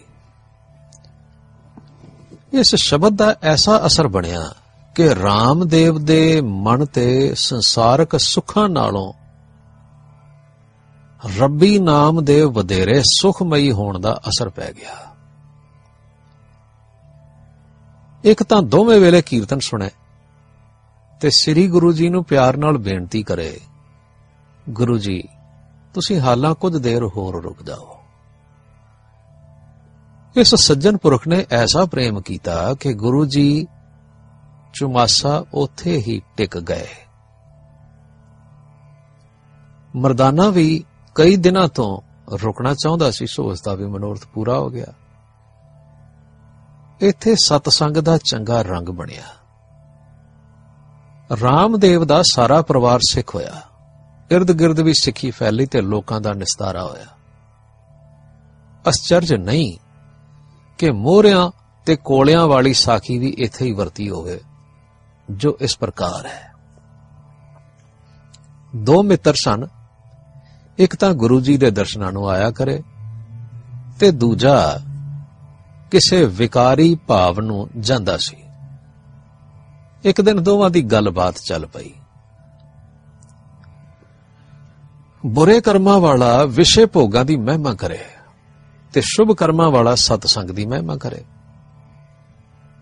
ਇੱਕ ਦਿਨ ਦੋਵਾਂ ਨੇ ਸਲਾਹ ਕੀਤੀ ਕਿ ਇਸ ਫਲਾਣੀ ਥਾਂ ਤੇ ਅਸੀਂ ਵਾਪਸ ਮੁੜਦੇ ਹੋਏ ਇੱਕ ਦੂਜੇ ਦੀ ਉਡੀਕ ਕਰਾਂਗੇ ਤੇ ਵਾਪਸ ਘਰ ਵੀ ਇਕੱਠੇ ਚੱਲਾਂਗੇ ਤੇ ਬਾਕੀ ਵਿਚਾਰ ਉਦੋਂ ਕਰਾਂਗੇ, ਨਾਲੇ ਵੇਖਾਂਗੇ ਕਿ ਸਾਨੂੰ ਕੀ ਲਾਭ ਮਿਲਦਾ ਹੈ? ਜਦੋਂ ਦੋਵੇਂ ਜਣੇ ਮੁੜਦੇ ਹੋਏ ਮਿਲੇ, ਤਾਂ ਮੰਦਕਰਮੀ ਆਖਣ ਲੱਗਾ, ਦੇਖ ਬਈ, ਮੈਂ ਤੇਰੇ ਨਾਲੋਂ ਪਹਿਲਾਂ ਆਇਆ ਸਾਂ ਤੇ ਵਿਹਲਾ ਹੋਣ ਕਰਕੇ ਛੁਰੀ ਨਾਲ ਐਵੇਂ ਹੀ ਜ਼ਮੀਨ ਪਟਦਾ ਰਿਹਾ ਤੇ ਮੈਨੂੰ ਇੱਕ ਮੋਰ ਮਿਲ ਗਈ। ਨਾਲ ਇੱਕ ਭਾਂਡਾ ਹੋਰ ਵੀ ਨਿਕਲਿਆ ਪਰ ਉਸ ਵਿੱਚ ਕੋਲੇ ਸਨ। ਪਰ ਤੈਨੂੰ ਕੀ ਹੋਇਆ? ਤੂੰ ਲੰਗੜਾਉਂਦਾ ਕਿਉਂ ਆਉਂਦਾ ਸੈਂ? ਤੈਨੂੰ ਕੀ ਮਿਲਿਆ? ਆਖਣ ਲੱਗਾ, ਮੇਰਾ ਮਨ ਤੇ ਬੜਾ ਸੁਖੀ ਹੋਇਆ ਪਰ ਮੇਰੇ ਪੈਰ ਵਿੱਚ ਇੱਕ ਸੂਲ ਚੁੱਭ ਗਈ ਸੀ, ਜਿਸ ਕਰਕੇ ਮੈਂ ਲੀਰ ਬਣ ਲਈ ਹੈ ਤੇ ਜ਼ਰਾ ਲੰਗੜਾ ਕੇ ਚੱਲ ਰਿਹਾ। ਤਾਂ ਮੰਦਕਰਮੀ ਆਖਣ ਲੱਗਾ, ਚੱਲ ਤੇਰੇ ਸੰਤਾਂ ਤੋਂ ਪੁੱਛੀਏ, ਬਈ ਸਤਸੰਗ ਦਾ ਫਲ, ਸੂਲ, ਭਾਵ ਕੰਡੇ ਚੁਬਣੇ ਤੇ ਮੇਰੇ ਦੁਨੀਆ ਦੇ ਸੁਖ ਮਾਨਣ ਦਾ ਫਲ ਮੋਰ ਇਹ ਕਿਵੇਂ ਹੋਇਆ? ਤਾਂ ਦੋਵੇਂ ਗੁਰੂ ਬਾਬੇ ਦੇ ਕੋਲ ਆਏ ਤੇ ਸਾਰੀ ਵਿਥਿਆ ਦੱਸ ਕੇ ਕਾਰਨ ਪੁੱਛੇ ਉਹਨੇ। ਦਿਆਲੂ ਸਤਿਗੁਰੂ ਜੀ ਨੇ ਆਪਣਾ ਪਵਿੱਤਰ ਹੱਥ ਉਸ ਮਾੜੇ ਕਰਮਾਂ ਵਾਲੇ ਦੇ ਸਿਰ ਨੂੰ ਛੁਆਇਆ। ਮੇਰ ਦੇ ਘਰ ਆਏ ਤੇ ਆਖਿਆ, ਭੋਲਿਆ ਤੇਰੇ ਪਾਪ ਕਰਨ ਨੂੰ ਇੱਕ ਮੋਹਰ ਦਾ ਫਲ ਨਹੀਂ ਲੱਗਾ। ਸਗੋਂ ਤੇਰੇ ਪਾਪਾਂ ਦੀ ਹਨੇਰੀ ਨੇ ਸਗੋਂ ਤੇਰਾ ਮੋਹਰਾਂ ਵਾਲਾ ਬ੍ਰਿਛ ਹਲੂਣ ਦਿੱਤਾ। ਸਭ ਝੜ ਗਈਆਂ, ਸਿਰਫ ਇੱਕੋ ਤੇਰੇ ਜੋਗੀ ਰਹਿ ਗਈ। ਕੋਲਿਆਂ ਦੀ ਮਟਕੀ ਅਸਲ ਵਿੱਚ ਮੋਹਰਾਂ ਦੀ ਮਟਕੀ ਸੀ। ਕਿਸੇ ਰੱਬ ਦੇ ਪਿਆਰੇ ਨੂੰ ਤੂੰ ਇੱਕ ਮੋਹਰ ਦਿੱਤੀ ਸੀ। ਜਿਸ ਕਰਕੇ ਉਸ ਨੂੰ ਦਿੱਤੀ ਹੋਈ ਇੱਕ ਮੋਹਰ ਸੈਂਕੜੇ ਗੁਣਾ ਹੋ ਫਲੀ। ਪਰ ਜਿਉਂ-ਜਿਉਂ ਤੂੰ ਪਾਪ ਕਰਦਾ ਰਿਹਾ, ਉਹਨਾਂ ਪੁੰਨ ਕਰਮਾਂ ਦੀਆਂ ਫਲੀਆਂ ਮੋਹਰਾਂ ਸੜਦੀਆਂ ਗਈਆਂ। ਤੂੰ ਜਾਣ ਲੈ ਕਿ ਤੇਰੇ ਪਾਪਾਂ ਨੇ ਤੇਰੇ ਇਕੱਠੇ ਕੀਤੇ ਹੋਏ ਸ਼ੁਭ ਕਰਮਾਂ ਤੇ ਉਹਨਾਂ ਦੇ ਫਲ ਨੂੰ ਸਾੜ ਸੁੱਟਿਆ ਤੇ ਸਿਰਫ ਇੱਕੋ ਮੋਹਰ ਰਹਿ ਗਈ। ਸੋ ਤੂੰ ਸਮਝ ਲੈ ਕਿ ਇਹ ਮੋਹਰ ਤੈਨੂੰ ਮਤ ਦਿੰਦੀ ਹੈ ਕਿ ਤੇਰੇ ਪਾਪਾਂ ਨੇ ਮੇਰੇ ਵਰਗੀਆਂ ਤੇਰੇ ਭਾਗਾਂ ਵਿੱਚੋਂ ਅਨੇਕਾਂ ਦੂਰ ਕਰ ਦਿੱਤੀਆਂ। ਬੀਜਿਆ ਹਰਿਆ ਹੋਣ ਦੀ ਥਾਂ ਕੁਸੰਗ ਨੇ ਸਾੜ ਦਿੱਤਾ। ਕੋਲੇ ਹੋ ਗਿਆ। ਪਰ ਤੂੰ ਪੁੱਛਣਾ ਚਾਹੁੰਦਾ ਸੈ ਨਾ ਕਿ ਇਸ ਸਤਸੰਗ ਕਰਨ ਵਾਲੇ ਨੂੰ, ਹਰੀ ਕੀਰਤਨ ਸੁਣਨ ਵਾਲੇ ਨੂੰ ਅੱਜ ਸੂਲ ਕਿਉਂ ਚੁੱਭੀ ਅਸਲ ਵਿੱਚ ਇਸ ਦੇ ਕਰਮ ਇਹੋ ਜਿਹੇ ਸਨ ਜਿਨ੍ਹਾਂ ਦਾ ਫਲ ਸੀ ਕਿ ਇਸ ਨੂੰ ਸੂਲੀ ਤੇ ਚੜਾਇਆ ਜਾਏ, ਭਾਵ ਫਾਂਸੀ ਦਿੱਤੀ ਜਾਏ। ਜਿਵੇਂ ਜਿਵੇਂ ਇਹ ਸੇਵਾ ਕਰਨ ਲਈ ਆਇਆ ਜਿਵੇਂ ਜਿਵੇਂ ਇਸ ਦੇ ਅੰਦਰ ਰੱਬ ਜੀ ਦੇ ਪ੍ਰੇਮ ਤੇ ਵੈਰਾਗ ਨੇ ਆਪਣਾ ਥਾਂ ਬਣਾਇਆ ਓਵੇਂ ਓਵੇਂ ਵਾਹਿਗੁਰੂ ਦੇ ਨਾਮ ਨੇ ਇਸ ਦੇ ਖੋਟੇ ਕਰਮ ਨਾਸ ਕਰ ਦਿੱਤੇ। ਤੇ ਉਹ ਖੋਟੇ ਕਰਮ ਘਟਦੇ ਖਟਦੇ ਸੂਲੀ ਦੀ ਥਾਂ ਤੇ ਸੂਲ ਰਹਿ ਗਈ, ਜੋ ਸਿਰਫ ਸੂਈ ਵਾਂਗ ਚੁੱਭ ਕੇ ਹੀ ਮਹਾ ਦੁੱਖ ਤੋਂ ਛੁਡਾ ਗਈ। ਦੂਜਾ, ਹੈ ਭਾਈ ਜਿਵੇਂ ਜਿਵੇਂ ਤੂੰ ਵਿਸ਼ੇ ਵਿਕਾਰਾਂ ਵਿੱਚ ਫਸਿਆ, ਤੇਰੀਆਂ ਵਾਸ਼ਨਾਵਾਂ ਹੋਰ ਖੋਟੀਆਂ ਹੋ ਗਈਆਂ ਤੇ ਤੇਰੀ ਰੁਚੀ ਮਾੜੇ ਪਾਸੇ ਵੱਲ ਹੋਰ ਵੱਧ ਗਈ। ਜਿਵੇਂ ਜਿਵੇਂ ਇਸ ਕਾਲੀ ਨੇ ਸਤਸੰਗ ਕੀਤਾ, ਇਸ ਦੀ ਵਾਸ਼ਨਾ ਸ਼ੁਭ ਤੇ ਪਵਿੱਤਰ ਹੋ ਗਈ। ਤੇ ਇਸ ਦੀ ਰੁਚੀ ਭਲੇ ਪਾਸੇ ਵੱਲ, ਸੇਵਾ ਵੱਲ ਤੇ ਸਤਸੰਗ ਵੱਲ ਵੱਧ ਗਈ ਤੇ ਅੱਗੇ ਨੂੰ ਹੋਣ ਵਾਲੇ ਕਰਮਾਂ ਦੀ ਸੋਝੀ ਸਿੱਧੇ ਪਾਸੇ ਹੋ ਗਈ। ਇਹ ਸੁਣ ਕੇ ਹਟਵਾਣੀਆਂ ਦੇ ਦਿਲ ਵਿੱਚ ਇਹ ਗੱਲ ਵੜ ਗਈ। ਸਮਝ ਗਿਆ, ਕੰਬਿਆ। ਕਿਉਂਕਿ ਦਾਤੇ ਨੇ ਜਿਹੜਾ ਆਪਣਾ ਹੱਥ ਉਸ ਦੇ ਸਿਰ ਤੇ ਰੱਖਿਆ ਸੀ ਨਾ, ਉਹ ਅੱਗ ਦੀ ਚਿੰਗਾੜੀ ਵਾਂਗ ਸੀ। ਪਾਪਾਂ ਦੇ ਮਾੜੇ ਢੇਰਾਂ ਨੂੰ ਅੱਗ ਲਾਉਣ ਲਈ। ਜਿਵੇਂ ਹੀ ਮੱਤ ਤੋਂ ਬੋਝ ਉਤਰਿਆ, ਗੁਰੂ ਜੀ ਦੇ ਚਰਨੀ ਟੱਠਾ ਤੇ ਆਖਣ ਲੱਗਾ, ਗੁਰੂ ਜੀ, ਹੁਣ ਮਿਹਰ ਕਰੋ, ਸ਼ੁਭ ਮਾਰਗ ਤੇ ਪਾਓ, ਭਲੇ ਕਰਮ ਸਿਖਾਓ ਤੇ ਮਾੜੇ ਕਰਮਾਂ ਦੇ ਰਾਹ ਤੋਂ ਵਰਜ ਲਵੋ। ਆਪਣੇ ਤਾਣ ਨਾਲ ਬਖਸ਼ ਲਵੋ। ਅਸਾਂ ਵਿੱਚ ਕੋਈ ਜ਼ੋਰ ਨਹੀਂ। ਗੁਰੂ ਜੀ ਮਿਹਰਬਾਨ ਹੋਏ ਤੇ ਇਲਾਹੀ ਗਲੇ ਤੋਂ ਇਹ ਤੁਨ ਉੱਠੀ। ਭਾਈ ਮਰਦਾਨੇ ਨੇ ਰਬਾਬ ਛੇੜੀ ਤੇ ਸਤਿਗੁਰੂ ਦੇ ਮੁਖਾਰ ਬਿੰਦ ਤੋਂ ਮਾਰੂ ਦੇ ਵੈਰਾਗ ਭਰੀ ਸੁਰ ਛੜੀ ਤੇ ਇਸ ਸ਼ਬਦ ਦਾ ਉਚਾਰਨ ਹੋਇਆ। ਮਾਰੂ ਮਹਿਲਾ ਪਹਿਲਾ। ਕਰਣੀ ਕਾਗਦ ਮਨ ਮਸਵਾਣੀ, ਬੁਰਾ ਭਲਾ ਦੋਏ ਲੇਖ ਪਏ। ਜਿਉਂ-ਜਿਉਂ ਕਿਰਤ ਚਲਾਏ, ਤਿਉਂ ਚੱਲੀਐ, ਤਉ ਗੁਣ ਨਾਹੀ ਅੰਤ ਹਰੇ। ਚਿਤ ਚੇਤਸ ਕੀ ਨਹੀਂ ਬਾਵਰਿਆ, ਹਰ ਬਿਸਰਤ ਤੇਰੇ ਗੁਣ ਗਲਿਆ ਰਹਾਓ ਜਾਲੀ ਰਹਿਣ ਜਾਲ ਦਿਨ ਹੁਆ, ਜੇਤੀ ਘੜੀ ਫਾਹੀ ਤੇਤੀ। ਰਸ ਰਸ ਚੋਗ ਚੁਗੈ ਨਿਤ ਫਾਸੈ ਛੂਟਸ ਮੂੜੇ ਕਵਣ ਗੁਣੀ। ਕਾਇਆ ਆਰਣ, ਮਨ ਵਿੱਚ ਲੋਹਾ ਪੰਚ ਅਗਣ ਤਿਤ ਲਾਗ ਰਹੀ। ਕੋਇਲੇ ਪਾਪ ਪੜੇ ਤਿਸ ਉਪਰ ਮਨ ਜਲਿਆ ਸੰਨੀ ਚਿੰਤ ਭਈ। ਭਇਆ ਮਨੂਰ ਕੰਚਨ ਫਿਰ ਹੋਵੇ ਜੇ ਗੁਰ ਮਿਲੈ ਤਿਨੇਹਾ। ਏਕ ਨਾਮ ਅੰਮ੍ਰਿਤ ਉਹ ਦੇਵੈ ਤਉ ਨਾਨਕ ਤ੍ਰਿਸ਼ਟ ਸਤੇਹਾ ਦੇਵੀ ਆਵਾਜ਼ ਮਨ ਵਿੱਚ ਵੜ ਜਾਣ ਵਾਲੇ ਸ਼ਬਦ ਤੇ ਅਰਥ ਦੋਹਾਂ ਦਾ ਕਹਿਰ ਦਾ ਅਸਰ ਹੋਇਆ। ਹਟਵਾਣੀਏ ਦੇ ਮਨ ਦਾ ਕਠੋਰ ਭਾਵ ਖਤਮ ਹੋ ਗਿਆ। ਮਨ ਦਰਬ ਗਿਆ। ਸੋਝੀ ਆ ਗਈ ਕਿ ਅਸੀਂ ਕਰਮ ਕਰਨ ਵਾਲੇ ਜੀਵ ਹਾਂ। ਮਨ ਵਾਲੇ ਹੋਣ ਕਰਕੇ ਅਸੀਂ ਸਮਝਨੇ ਆ ਕਿ ਅਸੀਂ ਜੋ ਕੁਝ ਕਰਦੇ ਆ ਉਹ ਦੋ ਤਰ੍ਹਾਂ ਦਾ ਹੈ। ਭਲਾ ਤੇ ਬੁਰਾ। ਜੋ ਕੁਝ ਅਸੀਂ ਕਰਦੇ ਆਂ ਦੇ ਨਾਲ ਰੁਚੀ ਬਣਦੀ ਹੈ। ਰੁਚੀ ਪੱਕ ਕੇ ਸੁਭਾਅ ਹੋ ਜਾਂਦਾ ਹੈ। ਇਸ ਤਰ੍ਹਾਂ ਸਾਡੀ ਕਿਰਤ, ਸਾਡੀ ਕਰਨੀ ਦਾ ਫਲ ਸਾਨੂੰ ਅੰਦਰੋਂ ਭਲੇ ਪਾਸੇ ਵੱਲ ਜਾਂ ਬੁਰੇ ਪਾਸੇ ਵੱਲ ਤੋਰਦਾ ਹੈ। ਮਾੜੇ ਕਰਮਾਂ ਵਿੱਚ ਜਿਹੜਾ ਸਵਾਦ ਹੈ, ਉਹ ਸਮਝੋ ਚੋਗੇ ਵਾਂਗ ਹੈ, ਜੋ ਸਾਨੂੰ ਫਸਾਉਂਦਾ ਹੈ ਪੰਛੀ ਵਾਂਗੂ। ਅੰਦਰੋਂ ਬੁਰਾ ਸੁਭਾਵ ਬੁਰੇ ਪਾਸੇ ਵੱਲ ਰੁਚੀ ਕਰਦਾ ਹੈ। ਬਾਹਰੋਂ ਰਸਦਾਇਕ ਭੋਗ ਆਪਣੇ ਵੱਲ ਖਿੱਚਦੇ ਨੇ ਤੇ ਇਸ ਤਰ੍ਹਾਂ ਜੀਵ ਫਸਦਾ ਜਾਂਦਾ ਹੈ ਤੇ ਮਨ ਮਨ ਮਨੂਰ ਵਰਗਾ ਹੋ ਜਾਂਦਾ ਹੈ। ਅਰਥਾਤ ਉੱਚੇ ਰਸ ਵੱਲੋਂ ਖਤਮ ਹੋ ਜਾਂਦਾ ਹੈ ਤੇ ਨੀਵੇਂ ਮਾੜੇ ਰਸਾਂ ਵਿੱਚ ਜੋ ਪਾਪ ਕਰਮਾਂ ਵਿੱਚ ਹੁੰਦਾ ਹੈ, ਉਹਨਾਂ ਵਿੱਚ ਫਸਦਾ ਜਾਂਦਾ ਹੈ। ਹੁਣ ਇਸ ਦੇ ਮੁੜ ਜੀਵਨ ਦੀ ਆਸ ਨਹੀਂ ਰਹਿੰਦੀ, ਕਿਉਂਕਿ ਨੀਵੇਂ ਰਸਾਂ ਵਿੱਚ ਖਚਤ ਹੋ ਜਾਵੇ ਤਾਂ ਸਾਈਂ ਯਾਦ ਆ ਨਹੀਂ ਸਕਦਾ। ਤੇ ਵਿਸਰਣ ਵਿੱਚ ਜੇ ਕੋਈ ਸ਼ੁਭ ਗੁਣ ਪੱਲੇ ਹੁੰਦੇ ਵੀ ਹੈ ਤਾਂ ਉਹ ਸਹਾਇਤਾ ਨਹੀਂ ਕਰ ਸਕਦੇ।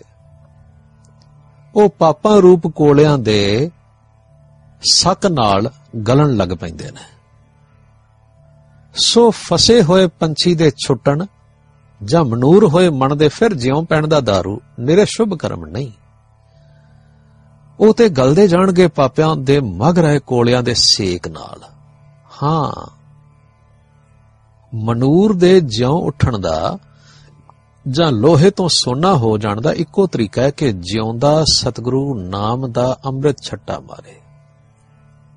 ਨਾਮ ਦੇ ਤਰੌਂਕੇ ਨਾਲ ਮਨ ਸਾਈਂ ਦੀ ਯਾਦ ਵਿੱਚ ਆਉਂਦਾ ਹੈ। ਯਾਦ ਸਾਈਂ ਨਾਲ ਮਿਲਾਪ ਹੈ ਤੇ ਪਾਪਾਂ ਤੇ ਨੀਵੇਂ ਰਸਾਂ ਨੇ ਸਾਡੇ ਅਤੇ ਉਸ ਦੇ ਵਿੱਚ ਜਿਹੜਾ ਭੁੱਲ ਦਾ ਪਰਦਾ ਤਾਣ ਦਿੱਤਾ ਨਾ, ਉਹ ਪਰਦਾ ਟੁੱਟ ਜਾਂਦਾ ਹੈ।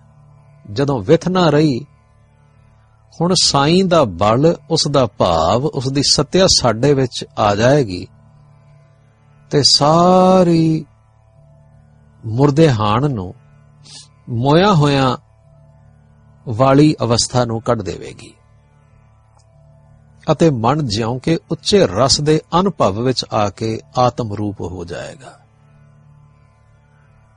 ਸ਼ਬਦ ਦਾ ਭਾਵ ਤੇ ਕੀਰਤਨ ਦੇ ਦਰਵ ਦੇਣ ਵਾਲੇ, ਪਿਘਲਾ ਦੇਣ ਵਾਲੇ ਅਸਰ ਨਾਲ ਦੋਹਾਂ ਦੇ ਅੰਦਰ ਇਹ ਗੱਲ ਟਿਕ ਗਈ। ਧਾ ਕੇ ਚਰਨੀ ਟੱਠਾ ਤੇ ਆਖਣ ਲੱਗਾ, ਦਾਤਾ ਜੀ, ਬਖਸ਼ ਲਵੋ ਮੈਨੂੰ ਪਾਪੀ ਨੂੰ। ਮੇਰੇ ਸੂਰਮੇ ਸਤਿਗੁਰੂ ਨੇ ਉਸ ਦੇ ਸਿਰ ਤੇ ਹੱਥ ਫੇਰਿਆ ਤੇ ਆਖਿਆ, ਕਹੋ ਵਾਹਿਗੁਰੂ। ਵਾਹਿਗੁਰੂ ਅਖਵਾਇਆ ਹੀ ਨਹੀਂ, ਸਗੋਂ ਉਸ ਦੇ ਅੰਦਰ ਪਾ ਦਿੱਤਾ। ਹੁਣ ਦੋਹਾਂ ਦੇ ਸਰੀਰਾਂ ਵਿੱਚ ਲੂ ਲੂ ਵਿੱਚ ਨਾਮ ਦਾ ਫੁਹਾਰਾ ਛੁੱਟਿਆ ਤੇ ਦੋਵੇਂ ਨਾਮ ਤਰੀਕ ਸਿੱਖ ਹੋ ਗਏ।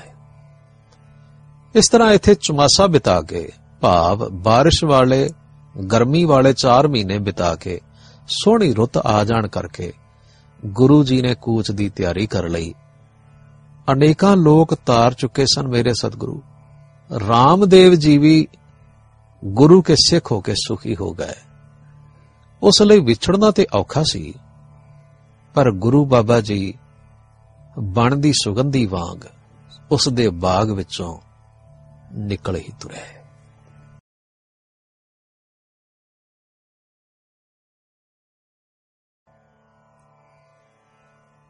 ਪਿਰਮਰਸ ਜਾਮ ਦੇ ਵਿੱਚੋਂ ਪਿਲਾ ਦੇ ਘੁੱਟ ਇੱਕ ਸਾਕੀ। ਪਿਲਾ ਦੇ ਘੁੱਟ ਇੱਕ ਸਾਕੀ, ਪਿਲਾ ਦੇ ਘੁੱਟ ਇੱਕ ਸਾਕੀ। ਕਿ ਜਿਸ ਦੇ ਪੀਤਿਆਂ ਖੁੱਲਦੀ ਹੈ ਗਫਲਤ ਦੀ ਗਸ਼ੀ ਸਾਰੀ, ਤੇ ਖੜਮਸਤੀ ਅਕਲ ਦੀ ਵੀ ਨਸ਼ੇ ਜਿਸ ਜਾਏ ਟਿਕ ਸਾਕੀ। ਉਮਰ ਗੁਜ਼ਰੀ ਅਕਲ ਦੇ ਬੁੱਤ ਘੜ ਘੜ ਪੂਜਦੇ ਭੰਨਦੇ ਤੇਰੇ ਪਿਆਲੇ ਤੋਂ ਸਦਕੇ, ਇਹ ਕਿਵੇਂ ਹੁਣ ਜਾਏ ਵਿਕ ਸਾਕੀ? ਪਿਲਾ ਦੇ ਜਾਮ, ਪੀ ਜਿਸ ਨੂੰ ਇਹ ਦਿਲ ਹੋ ਜਾਏ ਸਭ ਖਾਲੀ। ਭਰੇ ਮਹਿਬੂਬ ਦੀ ਦਿਲ ਸਿੱਖ ਬਿਨਾਵੇ ਰੂਪ ਸਿੱਖ ਸਾਕੀ। ਆਵਾਜ਼ ਕੰਨੀ ਹੈ ਪੈਂਦੀ ਖਿਜ਼ਾਂ ਆਖਰ ਬਹਾਰਾਂ ਦਾ। ਰੋ ਮਾਲੀ, ਰੋ ਬੁਲਬੁਲ, ਖਿਜ਼ਾਂ ਦਾ ਦੇਖ ਫਿਕ ਸਾਕੀ। ਖਿਜ਼ਾਂ ਮੂਰੇ ਮਿਲਾ ਪ੍ਰੀਤਮ ਪਿਲਾ ਕੋਈ ਜਾਮ ਛਿਕ ਵਾਲਾ ਕਿ ਛਿਕਿਆ ਆ ਜਾਏ ਸੋਹਣਾ ਗਲੇ ਲਾ ਲੈ ਉਹ ਛਿਕ ਸਾਕੀ ਮਿਲੇ ਪ੍ਰੀਤਮ ਖਿਜ਼ਾਂ ਫਿਰ ਕੀ ਖਿਜ਼ਾਂ ਤਾਂ ਸਦ ਬਹਾਰ ਉਹ ਹੋ ਜਦੋਂ ਪਿਆਰਾ ਮਿਲੇ ਆ ਕੇ ਤੇ ਲਾਵੇ ਨਾਲ ਹਿੱਕ ਸਾਕੀ ਹਿਮਾਚਲ ਪਹਾੜ ਦੀਆਂ ਉਚਾਈਆਂ ਵਿੱਚ ਇੱਕ ਸੋਹਣਾ ਟਿਕਾਣਾ ਹੈ। ਬਹੁਤ ਡੂੰਘਾ ਜੰਗਲ ਹੈ, ਜਿਸ ਵਿੱਚ ਪਾਣੀ ਦੀ ਇੱਕ ਸੋਹਣੀ ਧਾਰਾ ਵਗਦੀ ਆ ਰਹੀ ਹੈ। ਇੱਥੇ ਇੱਕ ਸੱਜਣ ਬੈਠੇ ਨੇ। ਦਿਨ ਚੜਿਆ ਹੋਇਆ ਹੈ ਅਤੇ ਦਰਖਤਾਂ ਦੇ ਪੱਤਿਆਂ ਦੇ ਵਿੱਚੋਂ ਛਣ ਛਣ ਕੇ ਧੁੱਪ ਧਰਤੀ ਨੂੰ ਚੁੰਮ ਰਹੀ ਹੈ। ਵਿਦਵਾਨ ਨੇ ਇਹ ਸੱਜਣ ਉਮਰ ਵੱਡੀ ਨੇ। ਬਸਤਰ ਹਲਕੇ ਜਾਏ ਭਗਵੇ ਰੰਗ ਦੇ ਨੇ। ਸੋਚਦੇ ਪਏ ਨੇ ਕਿ ਜਿਸ ਜਿਸ ਤਰ੍ਹਾਂ ਸਾਈ ਨੂੰ ਅਕਲ ਨਾਲ, ਦਾਰਸ਼ਨਿਕ ਵਿਦਿਆ ਨਾਲ ਵਰਣਨ ਕੀਤਾ ਗਿਆ, ਉਸ ਤਰ੍ਹਾਂ ਦਾ ਗਿਆਨ ਅੰਦਰ ਬਣਾਇਆ। ਸਾਈਂ ਦਾ ਰੂਪ ਉਸ ਤਰ੍ਹਾਂ ਦਾ ਚਿਤਵਿਆ ਪਰ ਇਹ ਤੇ ਸਾਰੇ ਮਨ ਦੀਆਂ ਘਾੜਤਾਂ ਸਨ। ਉਹ ਉਸ ਦਾ ਆਪਣਾ ਅਸਲੀ ਸਰੂਪ ਤੇ ਨਹੀਂ ਸੀ। ਜਿਵੇਂ ਪੱਥਰ ਘੜਨ ਵਾਲਾ ਮੂਰਤ ਘੜਦਾ ਹੈ, ਮੂਰਤੀਆਂ ਦਾ ਚਿੱਤਰਕਾਰ ਕਾਗਜ਼ ਉੱਤੇ ਹੀ ਮੂਰਤੀ ਪ੍ਰਕਾਸ਼ ਕਰ ਦਿੰਦਾ ਹੈ। ਪਰ ਪਹਿਲੋਂ ਦੋਹਾਂ ਦੇ ਅੰਦਰ ਮੂਰਤ ਤੇ ਅਮੂਰਤ ਬਣਦੀ ਹੈ। ਅਮੂਰਤ ਦੇ ਹਿੱਸੇ ਨੂੰ ਪੱਥਰ ਵਿੱਚ ਉਕੇਰਨ ਹਾਰ ਉਕੇਰ ਦਿੰਦਾ ਹੈ ਅਤੇ ਉਸ ਦੇ ਮਨ ਵਿੱਚ ਬਣੀ ਮੂਰਤ ਪੱਥਰ ਵਿੱਚੋਂ ਨਿਕਲ ਆਉਂਦੀ ਹੈ। ਪਰ ਜੋ ਕੁਝ ਮੈਂ ਆਪਣੇ ਅੰਦਰ ਟਿਕਾਇਆ, ਉਹ ਤੇ ਸਾਰਾ ਕੁਝ ਮੇਰੇ ਖਿਆਲ ਮਾਤਰ ਤੇ ਨਹੀਂ ਸੀ। ਕਥਾ ਵਾਰਤਾਵਾਂ ਕੀਤੀਆਂ, ਲੋਕਾਂ ਨੂੰ ਪ੍ਰਸੰਨ ਕੀਤਾ ਪਰ ਸੱਚ ਗੱਲ ਇਹ ਆ, ਆਪਣਾ ਮਨ ਤੇ ਨਹੀਂ ਪ੍ਰਸੰਨ ਹੋਇਆ। ਜਵਾਨੀ ਵਿੱਚ ਤੇ ਆਪਣਾ ਜੋਸ਼, ਆਪਣਾ ਨਸ਼ਾ ਹੁੰਦਾ ਹੈ। ਸ਼ੁਕਰ ਹੈ ਮਾੜੇ ਪਾਸੇ ਨਹੀਂ ਗਏ। ਪਰ ਜਿਹੜੇ ਪਾਠ ਕਰਨ ਦੇ ਜਾਂ ਵਿਦਿਆ ਹਾਸਲ ਕਰਨ ਦੇ ਰੰਗ ਜਮਾਏ, ਉਹਨਾਂ ਵਿੱਚ ਜਵਾਨੀ ਦਾ ਜੋਸ਼ ਸੋਹਣੇ ਦਿਨ ਲੰਗਾਈ ਗਿਆ। ਪਰ ਹੁਣ ਜਦੋਂ ਸਰੀਰ ਦੀ ਤਾਕਤ ਘਟ ਰਹੀ ਹੈ ਤਾਂ ਸੋਚ ਆਉਂਦੀ ਹੈ ਵੀ ਮੈਂ ਕੀ ਕੀਤਾ, ਕੀ ਬਣਿਆ। ਐਵੇਂ ਵਾਕ ਰਚਨਾ ਹੀ ਕਰਦੇ ਰਹੇ। ਜੋ ਚਾਹਿਆ ਵਾਕ ਰਚਨਾ ਨਾਲ ਰਚ ਲਿਆ। ਤੈਨੂੰ ਯਾਦ ਹੈ ਹੀਰੇ ਮਿਰਗ ਵਰਗਾ ਸਾਧੂ ਜਿਸ ਦੇ ਜੋਸ਼ ਅੱਗੇ ਫੁੱਲਾਂ ਦਾ ਜਲਵਾ ਵੀ ਮਾਤ ਪੈਂਦਾ ਸੀ। ਕਿਸ ਤਰ੍ਹਾਂ ਝੰਬਿਆ ਗਿਆ ਤੇ ਜਵਾਨੀ ਦੀ ਮੌਤ ਮਰਨ ਵੇਲੇ ਕਿਸ ਤਰ੍ਹਾਂ ਪੁਕਾਰ ਕੇ ਆਖਦਾ ਸੀ? हे ਲੋਕੋ, ਜਿਸ ਰਸਤੇ ਮੈਂ ਤੁਰਿਆ, ਕੋਈ ਨਾ ਤੁਰਿਆ ਮੈਂ ਸਮਝਦਾ ਸਾਂ, ਮੈਂ ਭੋਗਾਂ ਨੂੰ ਭੋਗ ਰਿਹਾ। ਪਰ ਭਰਤਰੀ ਦੇ ਕਹਿਣ ਮੁਤਾਬਕ ਭੋਗਾਂ ਨੇ ਸਗੋਂ ਮੈਨੂੰ ਭੋਗ ਲਿਆ। ਮੈਂ ਬਿਨਾਂ ਆਈ ਮੌਤ ਇਸ ਭੋਗੇ ਜਾਣ ਕਰਕੇ ਮਰ ਰਿਹਾ ਹਾਂ। ਸੋ ਹੈ ਮੇਰੇ ਮਨਾ ਭੋਗਾਂ ਦਾ ਜੀਵਨ ਕਿ ਭੋਗਾਂ ਨੂੰ ਹੀ ਧਰਮ ਬਣਾ ਕੇ ਇਸ ਵਿੱਚ ਪ੍ਰਵਿਰਤ ਹੋਣਾ ਕੋਈ ਤ੍ਰਿਪਤੀ ਦਾ ਕਾਰਨ ਨਹੀਂ। ਨਾ ਕੋਈ ਠੰਡ ਪੈਂਦੀ ਹੈ। ਨਾ ਆਪਣੇ ਹੀ ਰਸ ਨੂੰ ਸਦੀਵੀ ਬਣਾਉਂਦਾ ਹੈ। ਸੋ ਤੂੰ ਉਹ ਵਾਲੇ ਭੋਗ ਜਿਹੜੇ ਤੂੰ ਨਹੀਂ ਭੋਗ ਸਕਿਆ, ਇਸ ਕਰਕੇ ਉਹਨਾਂ ਨੂੰ ਯਾਦ ਕਰਕੇ ਤੇ ਦੁਖੀ ਨਾ ਹੋ। ਜੇ ਤੂੰ ਭੋਗ ਨਹੀਂ ਭੋਗੇ ਤਾਂ ਵੀ ਤੂੰ ਇਹੋ ਜਿਹਾ ਸ਼ੁਕਰ ਹੈ ਕਿ ਭੋਗ ਨਾ ਭੋਗਣ ਦਾ ਕੋਈ ਘਾਟਾ ਤੇਰੀ ਆਤਮਾ ਵਿੱਚ ਨਹੀਂ ਪਿਆ। ਹਾਂ, ਜੇ ਭੋਗ ਭੋਗੇ ਹੁੰਦੇ ਤੇ ਕੋਈ ਲਾਭ ਨਹੀਂ ਸੀ ਹੋਣਾ, ਕੋਈ ਰਸ ਤੇਰੇ ਕੋਲ ਕੋਈ ਨਹੀਂ ਸੀ ਹੋਣਾ, ਸਗੋਂ ਨੁਕਸਾਨ ਹੀ ਹੋਣਾ ਸੀ। ਸੋ ਜੇ ਤੂੰ ਵਿਦਿਆ ਹਾਸਲ ਕੀਤੀ, ਖੋਜ ਕੀਤੀ, ਯਥਾਰਥ ਦੇ ਮਗਰ ਤਰਲੇ ਲਏ, ਤੇ ਉਹਨਾਂ ਦਾ ਕੋਈ ਖਿਆਲ ਤੇਰੇ ਪਾਸ ਹੈ ਤਾਂ ਸ਼ੁਕਰ ਹੈ हे ਮਨਾ, ਜਗਤ ਵੱਲ ਨਾ ਵੇਖ। ਉਹਨਾਂ ਚੀਜ਼ਾਂ ਵੱਲ ਵੀ ਨਾ ਵੇਖ, ਜਿਹੜੀਆਂ ਖੁਰਕ ਵਾਂਗ ਪਹਿਲਾਂ ਸਵਾਦੀ ਲੱਗਦੀਆਂ ਨੇ, ਪਰ ਜਿਨ੍ਹਾਂ ਦਾ ਫਲ ਹਾਨੀਕਾਰਕ ਹੁੰਦਾ ਹੈ। ਜਿੱਥੇ ਤੂੰ ਹੈ ਨਾ, ਇਸ ਤੋਂ ਉੱਪਰ ਵੱਲ ਵੇਖ, ਹੇਠਾਂ ਵੱਲ ਨਹੀਂ। ਸਮਝ ਤੇ ਸਾਰਾ ਕੁਝ ਪੈ ਗਿਆ, ਪਰ ਠੰਡ ਕਿਉਂ ਨਹੀਂ ਪੈਂਦੀ? ਜੋ ਮੈਂ ਸਮਝਿਆ ਸੀ, ਉਹ ਹੋਇਆ ਨਹੀਂ।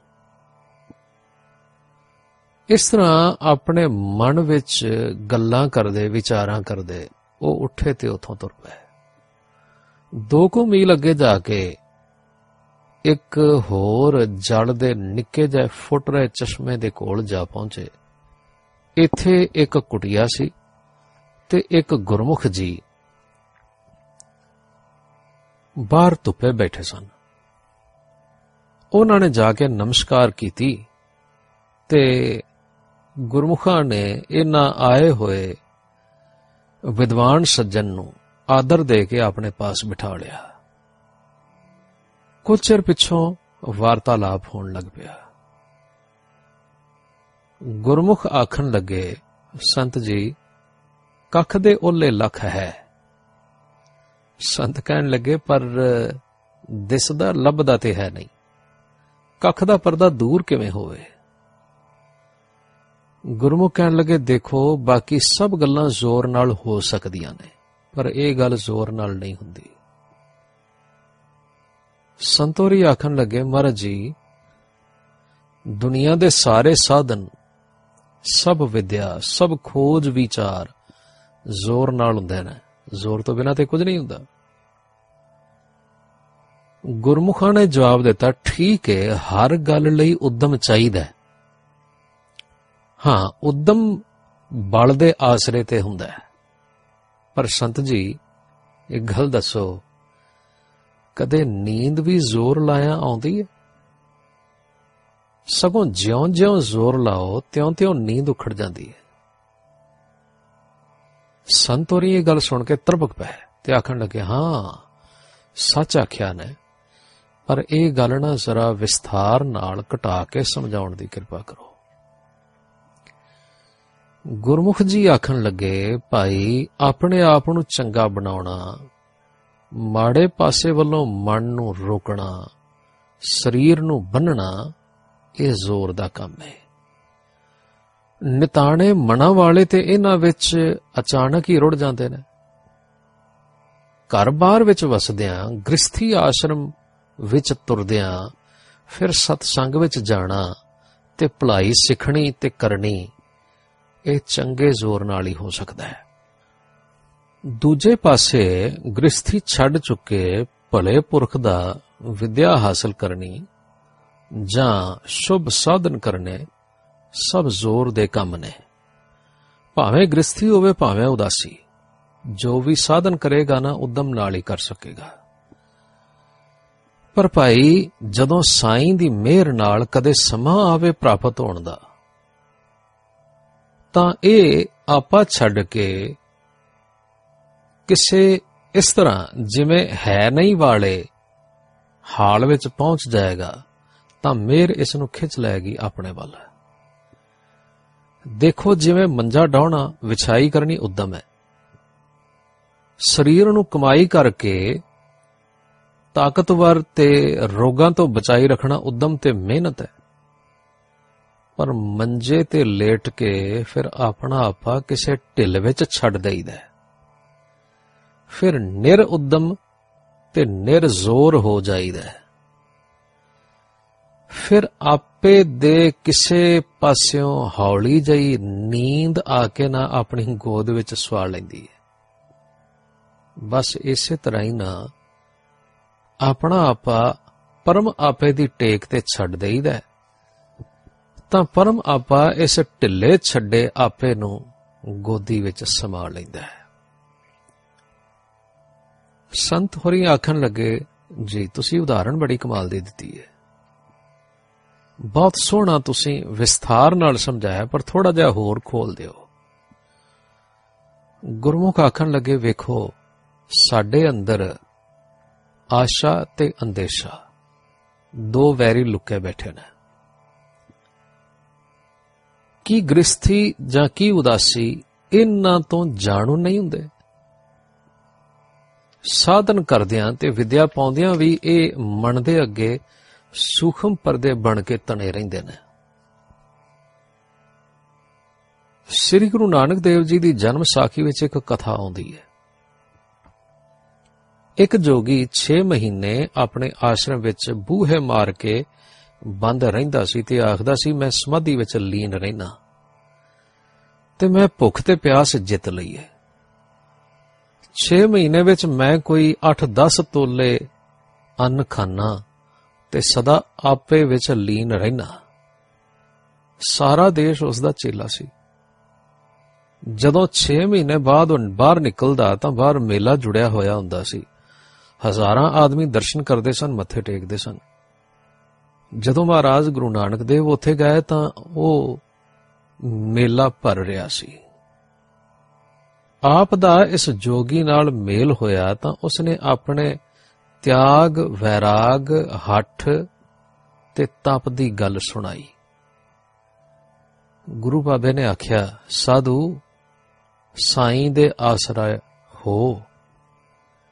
ਫਿਰ ਤੇਰੀ ਆਸ਼ਾ ਦੀ ਟੇਕ ਉਹ ਬਣੇ। ਤੇ ਅੰਦੇਸ਼ੇ ਖਤਮ ਹੋ ਜਾਣ।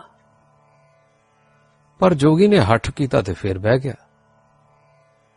ਗੁਰੂ ਬਾਬਾ ਜੀ ਵੀ ਉੱਥੇ ਹੀ ਰਹਿ ਪਏ। 6 ਮਹੀਨੇ ਸਤ ਸੰਗ ਲੱਗਾ ਰਿਹਾ।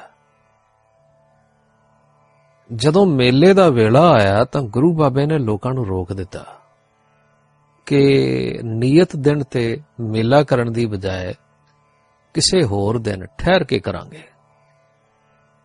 ਸੋ ਜਦੋਂ ਉਹ ਦਿਨ ਆਇਆ ਜਿਸ ਦਿਨ ਜੋਗੀ ਨੇ ਆਪਣੇ ਕੋਠੇ ਵਿੱਚੋਂ ਬਾਹਰ ਆਉਣਾ ਸੀ। ਜੋਗੀ ਨੇ ਮੇਲੇ ਦੀ ਚਹਿਲ ਪਹਿਲ ਨਾ ਵੇਖੀ ਤੇ ਬਾਹਰ ਵੀ ਦਿਸਿਆ ਕੋਈ ਨਾ। ਜਦੋਂ ਬਿਲਕੁਲ ਖਾਲੀ ਹੋਇਆ ਤਾਂ ਮਰਨਹਾਰ ਹੋ ਗਿਆ। ਗੁਰੂ ਬਾਬੇ ਨੇ ਦੱਸਿਆ, ਇਹ ਆਦਮੀ ਆਪਣੀ ਮਾਣ ਪ੍ਰਤਿਸ਼ਠਾ ਦੇ ਆਸਰੇ ਜਿਉਂਦਾ ਹੈ ਤੇ ਸਮਝਦਾ ਨਹੀਂ ਸੀ ਕਿ ਮੇਰੇ ਮਨ ਦੀ ਟੇਕ ਇਹਨਾਂ ਲੋਕਾਂ ਵੱਲੋਂ ਮਿਲ ਰਹੀ ਮਾਣ ਪ੍ਰਤਿਸ਼ਠਾ ਵਿੱਚ ਹੈ। ਉਸ ਦੇ ਬਾਰੇ ਵਿੱਚ ਜੋ ਗੱਲਬਾਤ ਹੋਈ, ਸੋ ਗੁਰੂ ਬਾਬੇ ਨੇ ਮਾਰੂ ਰਾਗ ਦੇ ਇੱਕ ਸ਼ਬਦ ਵਿੱਚ ਦੱਸੀ ਹੈ, ਜਿਸ ਵਿੱਚ ਜੋਗੀ ਕਹਿੰਦਾ ਹੈ, ਗੁਰੂ ਜੀ ਨੂੰ, ਕਿ ਜੇ ਤੂੰ ਇੱਕ ਸੁਰ ਦੇ ਰਸਤੇ ਪ੍ਰਾਣ ਬਾਹਰ ਕੱਢੇ ਤੇ ਦੂਜੇ ਰਸਤੇ ਚੜਾਵੇਂ ਇਸ ਤਰ੍ਹਾਂ ਪ੍ਰਾਣ ਵਾਯੂ ਨੂੰ ਜੁਗਤੀ ਨਾਲ ਸੰਬੱਧ ਕਰ ਲੈ ਦਸਮ ਦਵਾਰ ਨਾਲ। ਮੱਛੀ ਵਾਂਗੂ ਚੰਚਲ ਮਨ ਨੂੰ ਇਸ ਜੁਗਤੀ ਨਾਲ ਬੰਨ ਰੱਖੇ ਤਾਂ ਇਹ ਸਰੀਰ ਨਹੀਂ ਮਰੇਗਾ ਤੇ ਸਰੀਰ ਵਿੱਚੋਂ ਰੂਹ ਉੱਡ ਨਹੀਂ ਜਾਏਗੀ। ਗੁਰੂ ਜੀ ਬੋਲੇ हे ਅਸਲੀਅਤ ਤੋਂ ਅਣਜਾਣ ਰਹਿ ਗਏ ਸਾਧੂ, ਤੂੰ ਕਿਉਂ ਭਰਮ ਵਿੱਚ ਭੁੱਲ ਗਿਆ? ਤੂੰ ਸਾਧਨਾ ਦਾ ਤਾਂ ਫਲ ਹੀ ਨਹੀਂ ਸਮਝਿਆ। ਸਰਬ ਸਾਧਨ ਪਰਮੇਸ਼ਰ ਨਿਰੰਕਾਰ ਦੀ ਪ੍ਰਾਪਤੀ ਵਾਸਤੇ ਕਰੀਦੇ ਨੇ, ਜਿਸ ਦਾ ਰੂਪ ਪਰਮ ਆਨੰਦ ਹੈ। ਤੇ ਫਿਰ ਉਸ ਵਿੱਚ ਰਾਗ ਨਹੀਂ, ਪੂਰਨ ਵੈਰਾਗ ਹੈ। ਜੇ ਤੂੰ ਉਸ ਨੂੰ ਪ੍ਰਾਪਤ ਹੋਵੇਂ, ਤਾਂ ਵੈਰਾਗੀ ਹੋ ਜਾਵੇਂ, ਤਾਂ ਆਤਮਾ ਆਨੰਦ ਵੀ ਤੈਨੂੰ ਮਿਲ ਜਾਏ। ਹੁਣ ਤਾਂ ਤੂੰ ਪਵਨ ਰੋਕ ਕੇ ਵੀ ਆ ਸੰਦੇਸ਼ੇ ਵਿੱਚ ਹੈ। ਤਾਂ ਜੋਗੀ ਨੇ ਪੁੱਛਿਆ, ਕੋਈ ਜੁਗਤ ਹੈ? ਗੁਰੂ ਬਾਬੇ ਨੇ ਜਵਾਬ ਦਿੱਤਾ, ਤੇਰੇ ਅੰਦਰ ਜਿਹੜੀ ਕਾਮਨਾ ਹੈ ਨਾ, ਜੋ ਹੰਕਾਰ, ਕਾਮ, ਲੋਭ, ਮੋਹ ਤੇ ਕ੍ਰੋਧ ਦੇ ਰੂਪ ਧਾਰਨ ਕਰਦੀ ਹੈ, ਉਹ ਅਜਰ ਚੀਜ਼ ਹੈ। ਉਸ ਨੂੰ ਫੜ ਤੇ ਵਸ ਵਿੱਚ ਕਰ। ਫਿਰ ਤੇਰੇ ਅੰਦਰ ਛੇਵਾਂ ਇੰਦਰਾ ਹੈਗਾ ਮਨ। ਜਿਸ ਦੁਆਰਾ ਕਾਮਨਾ ਕੰਮ ਕਰਦੀ ਹੈ। ਉਹ ਕਿਸੇ ਸਾਧਨ ਜਾਂ ਕਿਸੇ ਜੁਗਤੀ ਨਾਲ ਨਹੀਂ ਮਰਦਾ। ਉਸ ਨਾ ਮਰਨ ਵਾਲੇ ਮਨ ਨੂੰ ਮਾਰ ਲੈ। ਫਿਰ ਭ੍ਰਾਂਤੀ ਜਾਂ ਭਰਮ ਹੈ ਜੋ ਤੇਰੇ ਮਨ ਨੂੰ ਭਰਮਾਰਿਆ, ਉਹਨਾਂ ਦਾ ਤਿਆਗ ਕਰ, ਤਾਂ ਤੂੰ ਅੰਮ੍ਰਿਤ ਪੀ ਸਕੇਗਾ। ਮੱਛੀ ਵਰਗੇ ਚੰਚਲ ਮਨ ਨੂੰ ਇਸ ਜੁਗਤੀ ਨਾਲ ਬੰਨੀਦਾ ਹੈ ਤਾਂ ਇਹ ਮਨ ਫਿਰ ਸੰਕਲਪਾਂ ਵਿੱਚ ਨਹੀਂ ਉੱਡਦਾ ਤੇ ਨਾ ਹੀ ਸਰੀਰ ਕਮਜ਼ੋਰ ਹੁੰਦਾ ਹੈ। ਜੋਗੀ ਕਹਿਣ ਲੱਗਾ, ਜੀ, ਇੱਕ ਗੱਲ ਦੱਸੋ। ਆ ਜਿਹੜੇ ਪੰਜੇ ਵਿਕਾਰ ਨੇ, ਇਹ ਤੇ ਅਜਰ ਨੇ। ਭਾਵ, ਇਹਨਾਂ ਨੂੰ ਕਿਵੇਂ ਜਰੀਏ? ਇਹਨਾਂ ਨੂੰ ਵਸ ਵਿੱਚ ਕਿਵੇਂ ਕਰੀਏ? ਤੇ ਜਿਹੜਾ ਮਨ ਅਮਰ ਹੈ ਉਸ ਨੂੰ ਕਿਵੇਂ ਮਾਰੀਏ? ਨਾਲੇ ਦੱਸੋ, ਭ੍ਰਾਂਤੀ ਭਾਵ ਭੁਲੇਖਾ ਕਿਵੇਂ ਦੂਰ ਹੁੰਦਾ ਹੈ?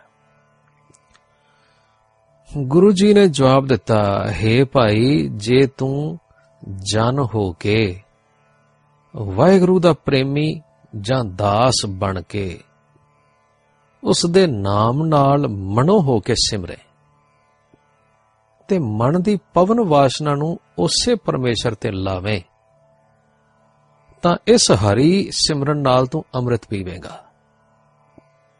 ਹੇ ਜੋਗੀ ਇਸ ਇੱਕੋ ਜੁਗਤ ਨਾਲ ਚਪਲ ਮਨ ਵਸ ਹੋ ਜਾਂਦਾ ਹੈ ਤੇ ਸਰੀਰ ਵੀ ਸਵਸਥ ਰਹਿੰਦਾ ਹੈ। ਕਿਉਂਕਿ ਪਰਮ ਪ੍ਰਯੋਜਨ ਜੋ ਜੀਵਨ ਦਾ ਹੈ, ਜਿਹੜਾ ਜੀਵਨ ਦਾ ਅਲਟੀਮੇਟ ਗੋਲ ਹੈ, ਵਾਹਿਗੁਰੂ ਦੀ ਪ੍ਰਾਪਤੀ, ਉਹ ਵੀ ਪ੍ਰਾਪਤ ਹੋ ਜਾਂਦਾ ਹੈ। ਦਰਅਸਲ ਉਸ ਵੇਲੇ ਸਤਿਗੁਰੂ ਜੀ ਨੇ ਜਿਹੜਾ ਸ਼ਬਦ ਉਚਾਰਨ ਕੀਤਾ ਉਹ ਇਸ ਪ੍ਰਕਾਰ ਸੀ। ਜੋਗੀ ਨੇ ਇਸ ਤਰ੍ਹਾਂ ਆਖਿਆ ਸੀ ਨਾ, ਸੂਰ ਸਰ ਸੋਸ ਲੈ, ਸੋਮ ਰਸ ਪੋਖ ਲੈ, ਜੁਗਤ ਕਰ ਮੁਕਤ ਸੋ ਸੰਬੰਧ ਕੀਜੈ। ਮੀਨ ਕੀ ਚਪਲ ਸਿਓ ਜੁਗਤ ਮਨ ਰਾਖੀਐ, ਉਡੈ ਨਹਿ ਹੰਸ, ਨਹਿ ਕੰਧ ਛੀਜੈ। ਗੁਰੂ ਜੀ ਉਸ ਨੂੰ ਸਮਝਾਉਂਦਿਆਂ ਆਖਣ ਲੱਗੇ, ਮੂੜੇ, ਕਾਇਚੇ ਭਰਮ ਭੁੱਲਾ ਨਹਿ ਚੀਨਿਆ ਪਰਮਾਨੰਦ ਬੈਰਾਗੀ ਹਾਂ, ਫਿਰ ਕੀ ਕਰ? ਅਜਰ ਗਹੁ ਜਾਰ ਲੈ, ਅਮਰ ਗਹੁ ਮਾਰ ਲੈ ਭ੍ਰਾਂਤ ਤਜ ਛੋੜ ਤਉ ਅਪਿਓ ਪੀਜੈ। ਮੀਨ ਕੀ ਚਪਲ ਸਿਓ ਜੁਗਤ ਮਨ ਰਾਖੀਐ, ਉਡੈ ਨਹਿ ਹੰਸ, ਨਹਿ ਕੰਧ ਛੀਜੈ। ਕਿਵੇਂ ਹੋਵੇਗਾ ਇਹ ਸਾਰਾ ਕੁਝ? ਭਣਤ ਨਾਨਕ ਜਨੋ, ਰਵੈ ਜੇ ਹਰ ਮਨੋ। ਮਨ ਪਵਨ ਸਿਓ ਅੰਮ੍ਰਿਤ ਪੀਜੈ, ਮੀਨ ਕੀ ਚਪਲ ਸਿਓ ਜੁਗਤ ਮਨ ਰਾਖੀਐ, ਉੱਡੈ ਨਹਿ ਹੰਸ, ਨਹਿ ਕੰਧ ਛੀਜੈ।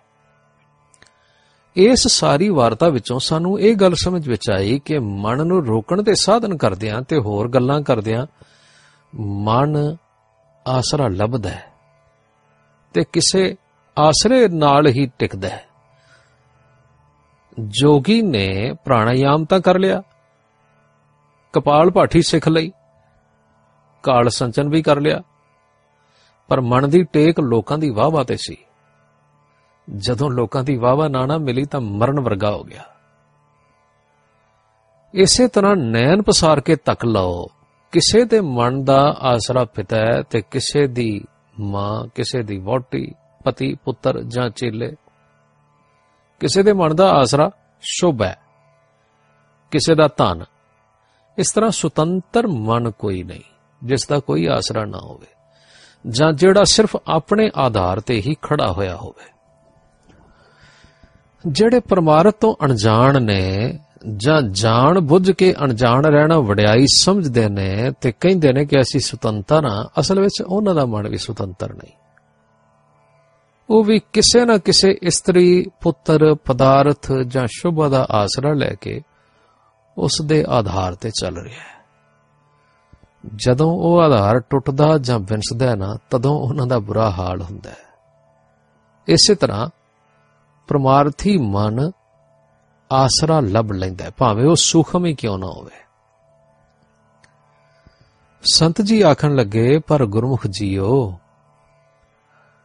ਮੈਂ ਨਾ ਤਾਂ ਯੋਗ ਸਾਧਨਾ ਕਰਕੇ ਮਨ ਨੂੰ ਸਰੀਰ ਦੇ ਕਿਸੇ ਧਾਰਨਾ ਅਸਥਾਨ ਵਿੱਚ ਫਸਾਇਆ। ਨਾ ਕਿਸੇ ਰਿੱਧੀ ਸਿੱਧੀ ਵਿੱਚ ਲੱਗਾ। ਧਨ ਧਾਮ ਇਸਤਰੀ ਪੁੱਤਰ ਸਾਰੇ ਆਸਰੇ ਛੱਡ ਕੇ ਸਾਧੂ ਹੋਇਆ ਸਾਂ। ਫਿਰ ਦੱਸੋ ਬਈ ਮੈਨੂੰ ਕਿਹੜੀ ਭ੍ਰਾਂਤੀ, ਕਿਹੜਾ ਭੁਲੇਖਾ ਮੇਰੇ ਮਨ ਨੂੰ ਆਸਰਾ ਦੇ ਰਿਹਾ ਸੀ? ਗੁਰਮੁਖ ਜੀ ਆਖਣ ਲੱਗੇ, ਦੇਖੋ, ਇਹ ਗੱਲ ਤਾਂ ਆਪਣਾ ਮਨ ਖੋਜਿਆ ਤੁਹਾਨੂੰ ਲੱਭੀ ਹੈ, ਭਲੀ ਗੱਲ ਹੈ। ਦੂਸਰੇ ਦਾ ਦੱਸਿਆ ਅਨੁਮਾਨ ਕਈ ਵਾਰ ਅੰਦਾਜ਼ਾ ਹੁੰਦਾ ਹੈ। ਜੇ ਠੀਕ ਵੀ ਹੋਵੇ, ਤਾਂ ਸੁਣ ਕੇ ਗੁੱਸਾ ਲੱਗਦਾ ਹੈ, ਕਿਉਂਕਿ ਹਰ ਮਨੁੱਖ ਭਾਵੇਂ ਉਹ ਕੋਈ ਹੋਵੇ, ਚੰਗਾ ਬਣਦਾ ਹੈ ਤੇ ਜੇ ਇਸ ਦੇ ਕੰਨਾਂ ਵਿੱਚ ਕੋਈ ਗੱਲ ਸੁਖਾਵੀਂ ਨਾ ਪਵੇ ਤਾਂ ਮਾੜੀ ਲੱਗਦੀ, ਭਾਵੇਂ ਉਹ ਸੱਚ ਹੀ ਹੋਵੇ। ਪਰ ਜੇ ਉਹ ਸੱਚ ਆਪ ਵੇਖ ਲਵੇ ਤੇ ਆਪਣੇ ਆਪ ਨਾਲ ਤੇ ਕੋਈ ਗੁੱਸੇ ਨਹੀਂ ਹੁੰਦਾ, ਫਿਰ ਉਹ ਪੁਰਸ਼ ਬੜਾ ਵਡਭਾਗਾ ਹੁੰਦਾ ਹੈ। ਜਿਹੜਾ ਆਪਣੀ ਭੁੱਲ ਨੂੰ ਆਪੇ ਵੇਖ ਕੇ ਉਸ ਨੂੰ ਠੀਕ ਕਰ ਲਵੇ। ਸੰਤੋਰੀ ਕਹਿਣ ਲੱਗੇ, ਨਹੀਂ ਜੀ, ਮੈਨੂੰ ਦੱਸੋ, ਮੈਂ ਤੇ ਸਗੋਂ ਤੁਹਾਡਾ ਧੰਨਵਾਦੀ ਹੋਵਾਂਗਾ। ਮੈਨੂੰ ਮੇਰੀ ਭੁੱਲ ਸਮਝਾ ਦਿਓ। ਗੁਰਮੁਖ ਜੀ ਆਖਣ ਲੱਗੇ, ਅੱਛਾ, ਤੁਸੀਂ ਭਲੇ ਸਾਧੂ ਹੋ, ਸੱਚ ਆਖਦੇ ਹੋ। ਪਰ ਜੇ ਤੁਸੀਂ ਕੱਲ ਫਿਰ ਦੁਬਾਰਾ ਆਉਣ ਦੀ ਖੇਚਲ ਕਰੋ, ਤਾਂ ਮੈਂ ਤੁਹਾਨੂੰ ਗੁਰੂ ਬਾਬੇ ਤੇ ਮਛਿੰਦਰ ਜੋਗੀ ਦੀ ਗੋਸ਼ਟ ਸੁਣਾਵਾਂਗਾ। ਮੇਰਾ ਖਿਆਲ ਹੈ ਤੁਹਾਨੂੰ ਉਸ ਵਿੱਚੋਂ ਆਪਣਾ ਰਸਤਾ ਆਪੇ ਸੁਝ ਪਵੇਗਾ। ਤੇ ਜੇ ਕੋਈ ਗੱਲ ਰਹਿ ਗਈ, ਤਾਂ ਫਿਰ ਉਹਦੇ ਤੇ ਖੁੱਲੀ ਵਿਚਾਰ ਕਰ ਲਵਾਂਗੇ। ਸੰਤ ਜੀ ਆਖਣ ਲੱਗੇ, ਜੀ, ਸਤ ਬਚਨ। ਪਰ ਗੁਰੂ ਬਾਬੇ ਦੀ ਜਿਹੜੀ ਸਿੱਧਾ ਨਾਲ ਗੋਸ਼ਟੀ ਭਾਵ ਵਿਚਾਰ ਚਰਚਾ, ਜਿਹੜੀ ਅਚਲ ਵਟਾਲੇ ਹੋਈ ਸੀ, ਸੋ ਤਾਂ ਗੁਰੂ ਗ੍ਰੰਥ ਸਾਹਿਬ ਜੀ ਵਿੱਚ ਹੈ। ਤੇ ਸੁਮੇਰ ਪਰਬਤ ਤੇ ਹੋਈ ਵਿਚਾਰ ਚਰਚਾ ਦਾ ਨਾਂ ਤਾਂ ਨਹੀਂ ਦਿੱਤਾ। ਉਹ ਸ਼ਬਦ ਵੀ ਹੈਗੇ ਨੇ। ਪਰ ਮਛਿੰਦਰ ਦੀ ਗੋਸ਼ਟੀ ਮੈਂ ਅੱਗੇ ਨਹੀਂ ਸੁਣੀ। ਗੁਰਮੁਖ ਆਖਣ ਲੱਗੇ, ਇਹ ਗੋਸ਼ਟੀ ਵੀ ਸ੍ਰੀ ਗੁਰੂ ਗ੍ਰੰਥ ਸਾਹਿਬ ਵਿੱਚ ਹੈ। ਪਰ ਉਥੇ ਇਹ ਨਾਮ ਨਹੀਂ ਦਿੱਤਾ, ਸ਼ਬਦ ਹੈਗੇ ਨੇ। ਪੁਰਾਤਨ ਜਨਮ ਸਾਖੀ ਵਾਲੇ ਨੇ ਦੱਸਿਆ ਕਿ ਇਹ ਸ਼ਬਦ ਮਛਿੰਦਰ ਜੋਗੀ ਨਾਲ ਹੋਈ ਗੋਸ਼ਟ ਦੇ ਹਨ। ਸੰਤ ਜੀ ਕਹਿਣ ਲੱਗੇ, ਅੱਛਾ, ਬੜਾ ਚੰਗਾ। ਤੁਸੀਂ ਬੜੀ ਮਿਹਰ ਕੀਤੀ। ਮੈਂ ਕੱਲ ਫਿਰ ਤੁਹਾਡੇ ਦਰਸ਼ਨ ਕਰਨ ਲਈ ਆਵਾਂਗਾ। ਇਹ ਕਹਿ ਕੇ ਪਰਸਪਰ ਪਿਆਰ ਨਾਲ ਫਤਿਹ ਬੁਲਾ ਕੇ ਸੰਤ ਜੀ ਵਿਦਾ ਹੋ ਗਏ।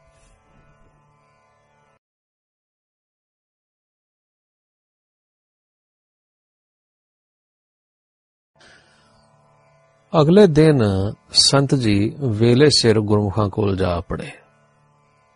ਅੱਗੇ ਬੈਠੇ ਉਹ ਵਾਰਤਾਲਾਪ ਕਰ ਰਹੇ ਸਨ। ਕੋਈ ਸੰਨਿਆਸੀ ਸਾਧੂ ਉਹਨਾਂ ਤੋਂ ਕੁਝ ਪੁੱਛ ਰਹੇ ਸਨ ਤੇ ਉਹਨਾਂ ਨੇ ਕੋਈ ਉੱਤਰ ਦਿੱਤਾ। ਜਦੋਂ ਇਹ ਸਾਧੂ ਚਲੇ ਗਏ ਤਾਂ ਗੁਰਮੁਖਾਂ ਨੇ ਇੱਧਰ ਧਿਆਨ ਕੀਤਾ। ਸੰਤਾਂ ਨੇ ਜਿਹੜੀ ਸਾਖੀ ਪੜ੍ਹੀ ਸੀ ਨਾ ਕੱਲ ਉਹ ਸੁਣਾਈ। ਗੁਰਮੁਖਾਂ ਨੇ ਸੁਣ ਕੇ ਆਖਿਆ, ਹਾਂ, ਗੁਰੂ ਦਾ ਬੋਲਣਾ ਜਦੋਂ ਹੁੰਦਾ ਤਾਂ ਸੱਚ ਤੇ ਹੁੰਦਾ ਹੈ। ਇਸ ਸਾਖੀ ਵਿੱਚ ਵੀ ਸੱਚ ਦਾ ਹੀ ਜ਼ੋਰ ਹੈ। ਸੰਤ ਜੀ, ਸੱਚ ਹੀ ਮੂਲ ਹੈ, ਸਾਧਨ ਵੀ ਸੱਚ ਹੈ ਤੇ ਪ੍ਰਾਪਤੀ ਵੀ ਸੱਚ ਹੈ। ਸੱਚ ਤੋਂ ਬਿਨਾ ਸਾਰੀ ਘਾੜਤ ਕੱਚੀ ਹੈ। ਸੰਤੋਰੀ ਆਖਣ ਲੱਗੇ, ਜਿੰਨੀ ਕੁ ਸੱਚ ਦੀ ਸੋਝੀ ਪਈ ਨਾ ਉਹਨਾਂ ਕੁ ਕਮਾਉਣ ਤੇ ਤਾਣ ਲਾ ਲਿਆ। ਅੱਗੇ ਅੱਗੇ ਕਿਰਪਾ ਕਰਕੇ ਦੱਸੋ ਨਾ ਫਿਰ ਕਿਵੇਂ ਕਰੀਏ। ਗੁਰਮੁਖ ਆਖਣ ਲੱਗੇ, ਫਿਰ ਨਾ ਅਸਲ ਵਿੱਚ ਕੀ ਹੈ ਕਿ ਜਿਵੇਂ ਜਿਵੇਂ ਬੰਦਾ ਸੱਚ ਦੇ ਰਸਤੇ ਤੇ ਤੁਰਦਾ ਹੈ ਉਸ ਨੂੰ ਆਪਣੀਆਂ ਕਮਜ਼ੋਰੀਆਂ ਦੀ ਸਮਝ ਆਉਂਦੀ ਜਾਂਦੀ ਹੈ। ਸੱਚ ਦੇ ਰਸਤੇ ਤੇ ਤੁਰਨ ਵਾਲਾ ਫਿਰ ਉਹਨਾਂ ਕਮਜ਼ੋਰੀਆਂ ਨੂੰ ਦੂਰ ਕਰਨ ਦਾ ਯਤਨ ਕਰਦਾ ਹੈ। ਇਸ ਤਰ੍ਹਾਂ ਇਹ ਹਾਲ ਇਸ ਤਰ੍ਹਾਂ ਹੋ ਜਾਂਦਾ ਹੈ, ਜਿਵੇਂ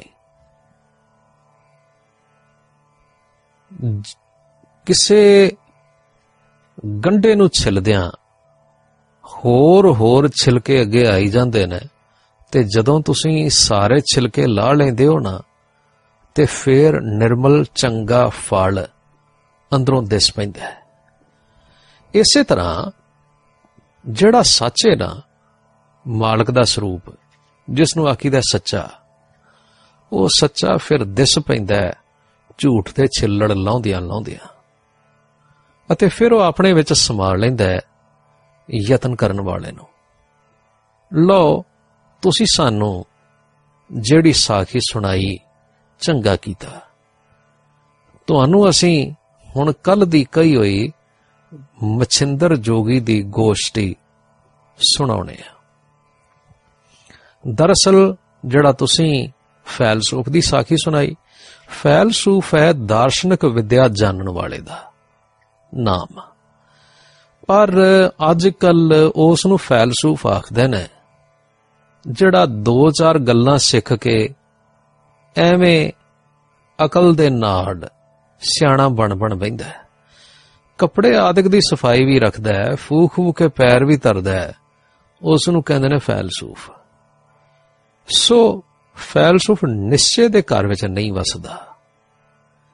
ਇਸੇ ਕਰਕੇ ਉਸ ਨੂੰ ਕਿਹਾ ਸੀ, ਸੱਠੀ ਦੇ ਧਾਨ ਦੇ ਸਿੱਟੇ ਵਾਂਗ ਹੋ। ਭਾਵ ਬਾਹਰੋਂ ਭਾਵੇਂ ਖੁਰਦਰਾ ਹੋਵੇ, ਪਰ ਅੰਦਰੋਂ ਮੁੱਲ ਵਾਲਾ ਹੋ। ਜਿਸ ਨੂੰ ਗੁਰੂ ਬਾਬੇ ਨੇ ਜਿਨ ਪਟ ਅੰਦਰ ਬਾਹਰ ਗੁੱਦੜ ਆਖਿਆ ਸੀ। ਪਰ ਨਾ ਹੁਣ ਤੇ ਸਾਰੀ ਦੁਨੀਆ ਬਸ ਬਾਹਰੋਂ ਸਾਫ਼-ਸਾਫ਼ ਦਿਸਦੀ ਏ। ਅੰਦਰੋਂ ਉਸੇ ਤਰ੍ਹਾਂ ਖੁਰਦਰੀ ਰਹਿ ਜਾਂਦੀ ਹੈ। ਅੱਛਾ, ਫਿਰ ਲਓ ਸੁਣੋ। ਮੈਂ ਤੁਹਾਨੂੰ ਹੁਣੇ ਮਛਿੰਦਰ ਜੋਗੀ ਨਾਲ ਹੋਈ ਗੋਸ਼ਟੀ ਸੁਣਾਉਣਾ, ਜਿਸ ਨਾਲ ਬਾਕੀ ਦੀ ਸਾਰੀ ਗੱਲ ਸਮਝ ਵਿੱਚ ਆ ਜਾਏਗੀ। ਲਿਖਿਆ ਹੈ, ਜਦੋਂ ਗੁਰੂ ਜੀ ਸੰਗਲਾਦੀਪ ਨੂੰ ਗਏ ਤਾਂ ਕਿਸੇ ਟਾਪੂ ਜਾਂ ਕਿਸੇ ਕਿਨਾਰੇ ਵਿੱਚ ਕਿਸੇ ਛੋਟੇ ਜਿਹੇ ਪਾਣੀ ਵਿੱਚ ਘਿਰੇ ਬਰੇਤੇ ਤੇ ਪੁੱਜੇ। ਤਾਂ ਅੱਗੇ ਗੋਰਖਨਾਥ ਤੇ ਉਸ ਦਾ ਗੁਰੂ ਮਛਿੰਦਰ ਬੈਠੇ ਸਨ। ਦੂਰੋਂ ਵੇਖ ਕੇ ਉਸਨੇ ਪੁੱਛਿਆ, ਗੋਰਖ, ਕੌਣ ਆ ਰਿਹਾ ਹੈ? ਗੋਰਖ ਨੇ ਕਿਹਾ, ਜੀ, ਗੁਰੂ ਨਾਨਕ ਹੈ ਤੇ ਨਾਲ ਦੋ ਸਿੱਖ ਨੇ। ਜਨਮ ਸਾਖੀ ਵਿੱਚ ਲਿਖਿਆ ਹੈ, ਸੈਦੋ ਤੇ ਸ਼ੀਆਂ। ਇਹ ਦੋ ਸਿੱਖ ਗੁਰੂ ਜੀ ਦੇ ਨਾਲ ਸਨ। ਮਛਿੰਦਰ ਬਹੁਤ ਖੁਸ਼ ਹੋਇਆ ਤੇ ਆਦਰ ਦੇ ਕੇ ਆਦੇਸ਼ ਆਦੇਸ਼ ਆਖਿਓ ਸੋ। ਸੁਖ ਸਾਂਦ ਪੁੱਛ ਕੇ ਜਦੋਂ ਬੈਠ ਗਏ ਤਾਂ ਮਛਿੰਦਰ ਨੇ ਆਖਿਆ हे ਗੁਰੂ ਨਾਨਕ, ਸਾਗਰ ਵਿੱਚ ਬੈਠੇ ਆ। ਵੇਖੋ, ਜੇ ਸਾਗਰ ਵਿੱਚ ਕੋਈ ਜਿਉਂਦਾ ਬੰਦਾ ਪੈ ਜਾਏ ਤਾਂ ਡੁੱਬ ਜਾਂਦਾ ਹੈ ਤੇ ਜੇ ਮਰ ਕੇ ਪਵੇ ਤਾਂ ਤਰ ਜਾਂਦਾ ਹੈ। ਪਰ ਇਸ ਤਰ੍ਹਾਂ ਦਾ ਤਰਿਆ ਭਾਵੇਂ ਡੁੱਬਾ ਮੁਰਦਾ ਹੀ ਹੁੰਦਾ ਹੈ। ਹੁਣ हे ਨਾਨਕ ਤੂੰ ਦੱਸ ਬਈ ਇਹ ਸਾਗਰ ਕਿਵੇਂ ਤਰੀਏ? ਜੋ ਤਰਿਆ ਵੀ ਜਾਏ ਤੇ ਤਰਨ ਵਾਲਾ ਜਿਉਂਦਾ ਵੀ ਰਵੇ। ਸ੍ਰੀ ਗੁਰੂ ਜੀ ਬੋਲੇ हे ਜੋਗੀ ਰਾਜ, ਜਲ ਤੇ ਤਰਨਾ ਸਿੱਖੋ। ਪਹਿਲਾਂ ਤਾਰੀ ਮਾਰਨੀ ਹੱਥਾਂ ਪੈਰਾਂ ਦੇ ਜ਼ੋਰ ਨਾਲ ਆਉਂਦੀ ਹੈ ਜਦੋਂ ਇਸ ਤਰ੍ਹਾਂ ਤਰਨਾ ਆ ਜਾਏ ਤੇ ਫਿਰ ਮੁਰਦਾ ਤਾਰੀ ਸਿੱਖੀ ਦੀ ਹੈ ਭਾਵ, ਫਿਰ ਉਹ ਵਾਲਾ ਢੰਗ ਵੀ ਆ ਜਾਂਦਾ ਹੈ ਕਿ ਬਿਨਾਂ ਯਤਨ ਤੋਂ ਹੀ ਜਿਵੇਂ ਮੁਰਦਾ ਤਰਦਾ ਰਹਿੰਦਾ ਹੋਵੇ, ਇਸੇ ਤਰ੍ਹਾਂ ਇਹ ਤਰਨਹਾਰ ਜਿਉਂਦਾ ਹੀ ਤਰ ਜਾਂਦਾ ਹੈ।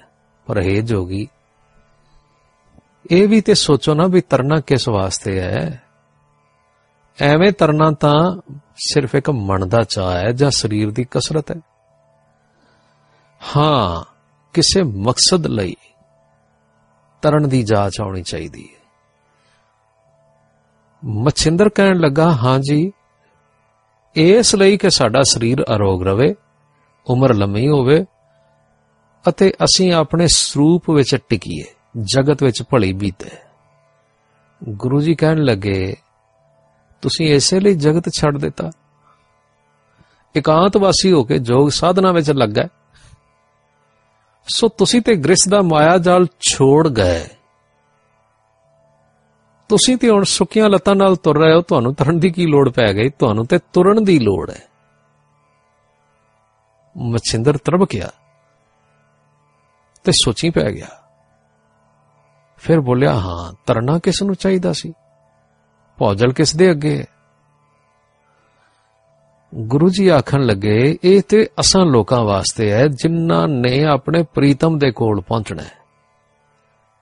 ਜਿਨ੍ਹਾਂ ਦਾ ਮਨੋਰਥ ਆਪਣੇ ਸੁਖ ਟੋਲਣਾ ਨਹੀਂ ਹੈਗਾ, ਪਰ ਸੁੱਖਾਂ ਦੇ ਸਵਾਮੀ ਆਪਣੇ ਪ੍ਰੀਤਮ ਦੇ ਕੋਲ ਪਹੁੰਚਣਾ ਹੈ। ਜਿਨ੍ਹਾਂ ਦੇ ਮਨ ਵਿੱਚ ਇਹ ਭਾਵਨਾ ਬਣ ਰਹੀ ਹੈ ਕਿ ਸਾਡੇ ਪਿਆਰੇ ਦਾ ਦਰ ਜੋ ਕਈ ਦਰਾਂ ਨੂੰ ਲੰਘ ਕੇ ਆਉਂਦਾ ਹੈ, ਉਹ ਕਿਵੇਂ ਲੱਭੇ? ਉਸ ਅਸਲੀ ਤੇ ਉਸ ਦੇ ਵਸੇਬੇ ਦੇ ਦਰ ਦੀ ਸਾਨੂੰ ਟੋਲ ਹੈ। ਉਸ ਪ੍ਰੀਤਮ ਦੇ ਪਿਆਰ ਕਾਰਨ ਅਸੀਂ ਉਸ ਦੇ ਦਰ ਲਈ ਉਦਾਸ ਫਿਰ ਰਹੇ ਹਾਂ ਤੇ ਪੁੱਛ ਦੱਸ ਰਹੇ ਹਾਂ ਕਿ ਕੋਈ ਆ ਕੇ ਦੱਸੇ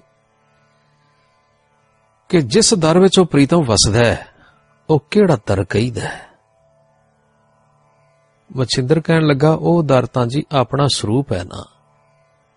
ਗੁਰੂ ਜੀ ਨੇ ਆਖਿਆ, ਅਸੀਂ ਤੇ ਉਸ ਨੂੰ ਟੋਲਣਾ ਹੈ, ਜੋ ਆਪੇ ਦਾ ਪਰਮ ਆਪ ਹੈ, ਜਿਸ ਨੂੰ ਕਰਤਾ ਪੁਰਖ ਆਖੀਦਾ ਹੈ ਤੇ ਪਿਆਰੀਦਾ ਹੈ। ਅਸੀਂ ਉਹ ਦਰ ਲੱਭਣਾ ਹੈ, ਜਿੱਥੇ ਬਹਿ ਕੇ ਪਿਆਰਾ ਸਾਰਿਆਂ ਦੀ ਸੰਭਾਲ ਕਰਦਾ ਹੈ। ਮਛਿੰਦਰ ਕਹਿਣ ਲੱਗਾ, ਫਿਰ ਤੁਹਾਡੇ ਖਿਆਲ ਵਿੱਚ ਉਹ ਕਿੱਥੇ ਵਸਦਾ ਹੈ? ਗੁਰੂ ਜੀ ਨੇ ਆਖਿਆ, ਸਾਡਾ ਪ੍ਰੀਤਮ ਪੁਰਖ ਜਿਸ ਆਸਣ ਤੇ ਬਿਰਾਜਮਾਨ ਹੈ ਉਸ ਦਾ ਨਾਮ ਹੈ ਸਤ।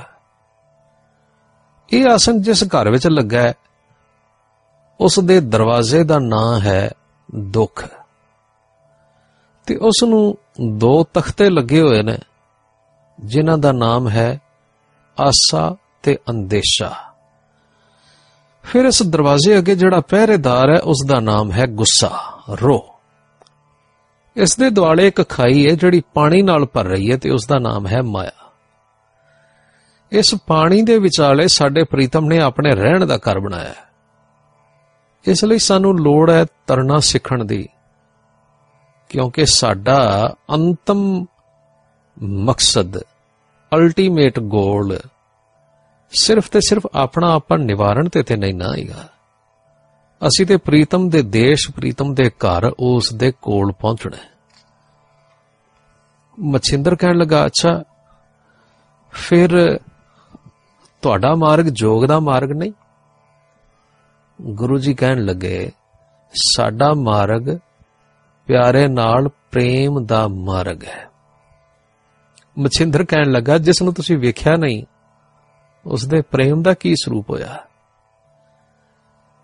ਇਹ ਸੁਣਦਿਆਂ ਸਾਰ ਪਿਆਰ ਨਾਲ ਗੁਰੂ ਦੇ ਨੈਣ ਭਰਿਆ ਹੈ ਨਜ਼ਰ ਜੋਗੀਆਂ ਤੋਂ ਉੱਠ ਕੇ ਉੱਪਰ ਨੂੰ ਹੋ ਗਈ ਤੇ ਨੈਣ ਅੱਧ ਖੁੱਲੇ, ਅੱਧ ਮਿਟੇ ਹੁੰਦੇ ਹੁੰਦੇ ਬੰਦ ਹੋ ਗਏ।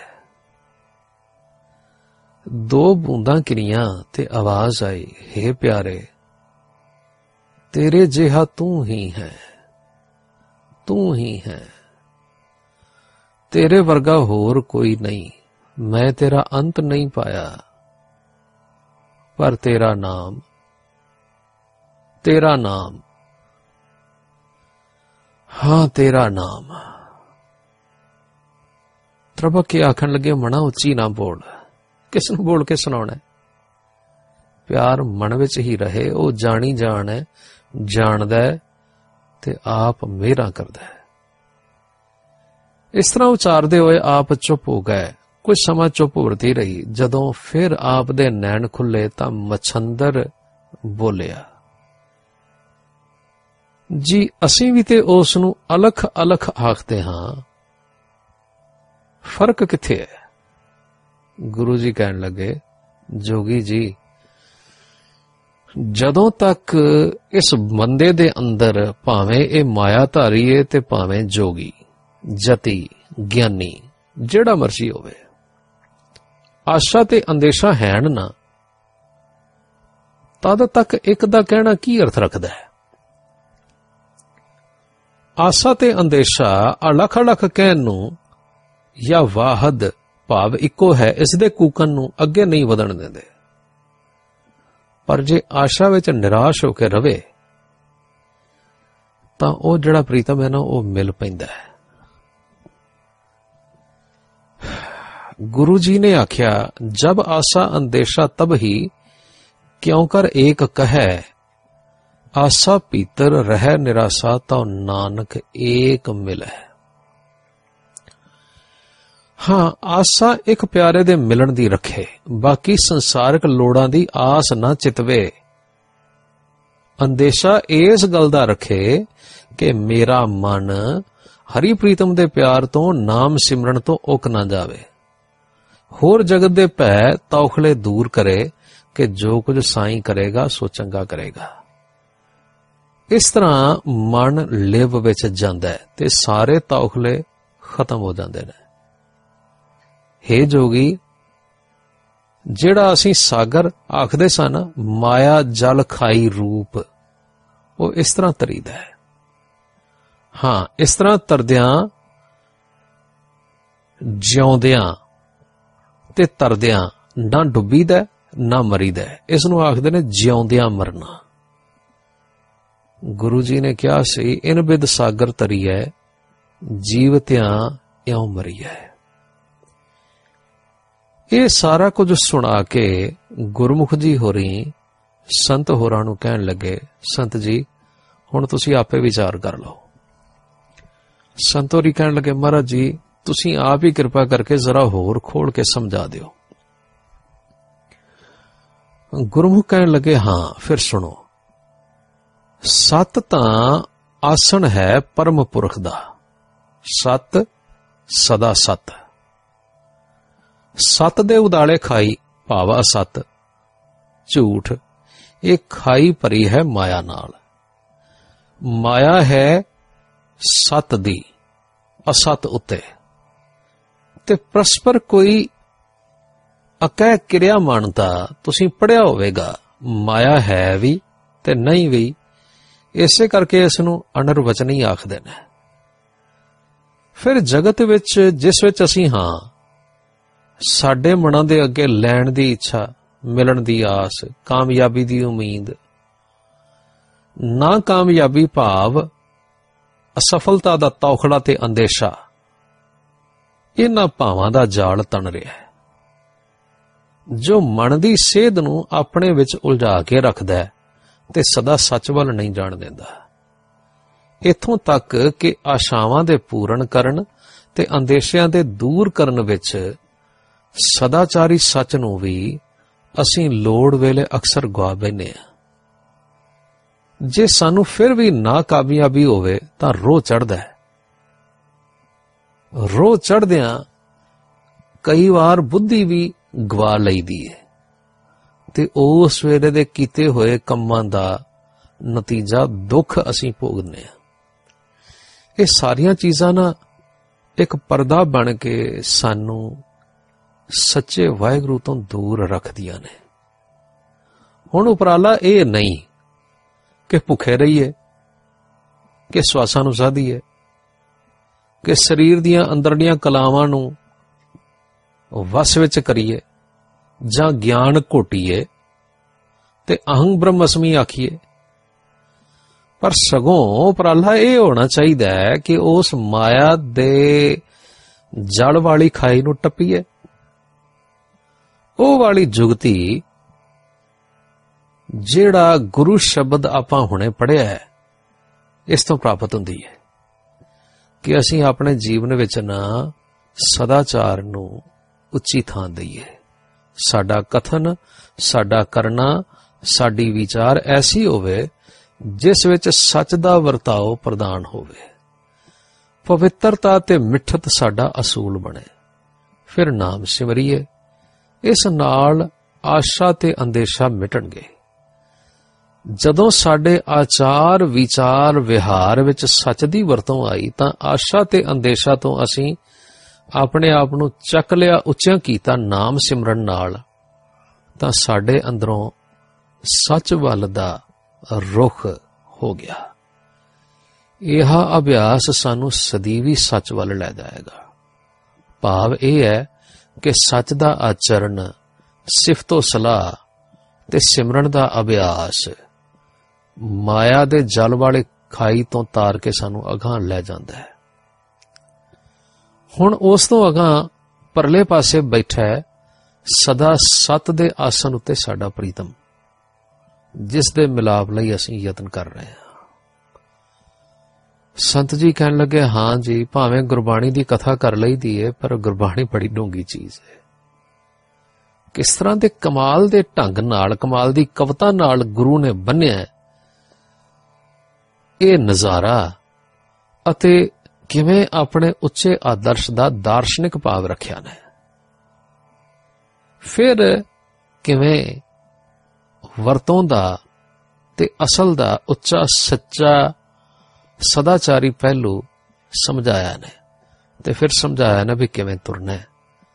ਸੱਚਮੁੱਚ ਹੈ। ਬਸ ਨਾ ਮੈਂ ਇਹ ਗੱਲ ਹੀ ਕਹਿ ਸਕਣਾ ਧੰਨ ਗੁਰੂ ਨਾਨਕ।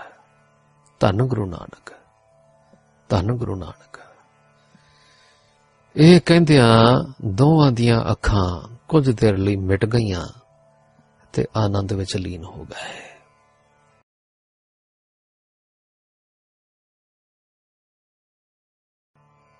ਸ੍ਰੀ ਗੁਰੂ ਨਾਨਕ ਦੇਵ ਜੀ ਮਹਾਰਾਜ, ਆਪਣੇ ਪਿਆਰੇ ਸਾਥੀ ਭਾਈ ਮਰਦਾਨੇ ਦੇ ਨਾਲ-ਨਾਲ ਅਨੇਕਾਂ ਇਲਾਕਿਆਂ ਵਿੱਚ ਵਸਦੇ ਹੋਏ ਜੀਵਾਂ ਨੂੰ ਤਾਰਦੇ ਪਾਰ ਉਤਾਰਦੇ ਤੇ ਵਾਹਿਗੁਰੂ ਦੇ ਨਾਮ ਦਾ ਰਸ ਬਖਸ਼ਦੇ। ਇੱਕ ਅਸਥਾਨ ਆਣ ਪਹੁੰਚੇ, ਜਿਸ ਨੂੰ ਗੰਗਾ ਤੋਂ ਪਰਲੇ ਪਾਸੇ ਮੁਰਸ਼ਿਦਾਬਾਦ ਜਾਂ ਮਕਸੂਦਾਬਾਦ ਵੀ ਕਹਿੰਦੇ ਨੇ। ਇਹ ਬਹੁਤ ਵੱਡਾ ਨਗਰ ਹੈ, ਕਦੇ ਰਾਜਧਾਨੀ ਹੁੰਦੀ ਸੀ। ਗੁਰੂ ਜੀ ਇੱਥੇ ਕੁਝ ਦਿਨ ਟਿਕ ਕੇ ਰਹੇ। ਬਹੁਤ ਸਾਰੇ ਲੋਕ ਸਤਸੰਗ ਵਿੱਚ ਲੱਗ ਕੇ ਵਾਹਿਗੁਰੂ ਦੇ ਪਿਆਰ ਵਾਲੇ ਰਸਤੇ ਪੈ ਗਏ। ਅਨੇਕਾਂ ਦੇ ਮੰਦ ਕਰਮ ਛੁੱਟ ਗਏ ਤੇ ਸ਼ੁਭ ਕਰਮੀ ਹੋ ਗਏ। ਇਹਨਾਂ ਸਾਰਿਆਂ ਵਿੱਚੋਂ ਵਧੇਕ ਨਾਮ ਰੰਗ ਵਾਲਾ ਇੱਕ ਪ੍ਰੇਮੀ ਸੀ ਜਿਸ ਦਾ ਨਾਮ ਸੀ ਭਾਈ ਸੂਜਾ। ਇਹ ਸੱਜਣ ਆਪਣੀ ਕਿਰਤਕਾਰ ਵਿੱਚ ਰਹਿਣ ਵਾਲਾ ਸੀ, ਮੌਤ ਦਾ ਭੈ ਜਾਣਦਾ ਸੀ, ਭਲਾਈ ਦਾ ਖੋਜੀ ਸੀ, ਪਰ ਇਸ ਨੂੰ ਕਿਸੇ ਥਾਵੇਂ ਠੰਡ ਨਹੀਂ ਸੀ ਪੈਂਦੀ। ਗੁਰੂ ਜੀ ਦੀ ਸੰਗਤ ਹਾਸਲ ਹੋਇਆ, ਇਸ ਦਾ ਮਨ ਟਿਕ ਗਿਆ। ਰੋਜ਼ ਦਰਸ਼ਨ ਕਰੇ, ਰੋਜ਼ ਸਤਸੰਗ ਕਰੇ, ਤੇ ਵੱਧ ਤੋਂ ਵੱਧ ਨਾਮ ਵਿੱਚ ਟਿਕਦਾ ਜਾਵੇ। ਇਥੋਂ ਤੱਕ ਕਿ ਇਹ ਪੂਰਾ ਨਾਮ ਪ੍ਰੇਮੀ ਤੇ ਨਾਮ ਦਾ ਰਸੀਆ ਹੋ ਗਿਆ। ਗੁਰੂ ਜੀ ਦਾ ਪ੍ਰੇਮ ਇਸ ਦੇ ਅੰਦਰ ਐਸਾ ਤਸਿਆ ਕਿ ਇਸ ਦੇ ਅੰਦਰ ਕਵਿਤਾ ਉਪਜਣ ਲੱਗ ਪਈ। ਗੁਰੂ ਦੀ ਉਸਤਤ ਦੇ ਰਚੇ ਛੰਦਾਂ ਵਿੱਚੋਂ ਇਸ ਦਾ ਰਚਿਆ ਇੱਕ ਛੰਦ ਮਿਲਦਾ ਹੈ, ਜੋ ਇਸ ਤਰ੍ਹਾਂ ਹੈ। ਸਤਿਗੁਰੂ ਨਾਨਕ ਪਰਸਿਆ ਸਭ ਪਾਪ ਬਿਨਾਸੇ ਨਾਮ ਅਮੋੜਕ ਪਾਇਆ ਕਾਰਜ ਭਏ ਰਾਸ਼ੇ। ਅਗਮ ਨਿਗਮ ਜਿਸ ਗਾਵਤੇ ਵੈ ਸਤਗੁਰ ਏ। ਜਿਨ ਕੀ ਕਿਰਪਾ ਤੇ ਭਇਓ ਮੈਂ ਮੁਕਤ ਸੰਦੇਹ।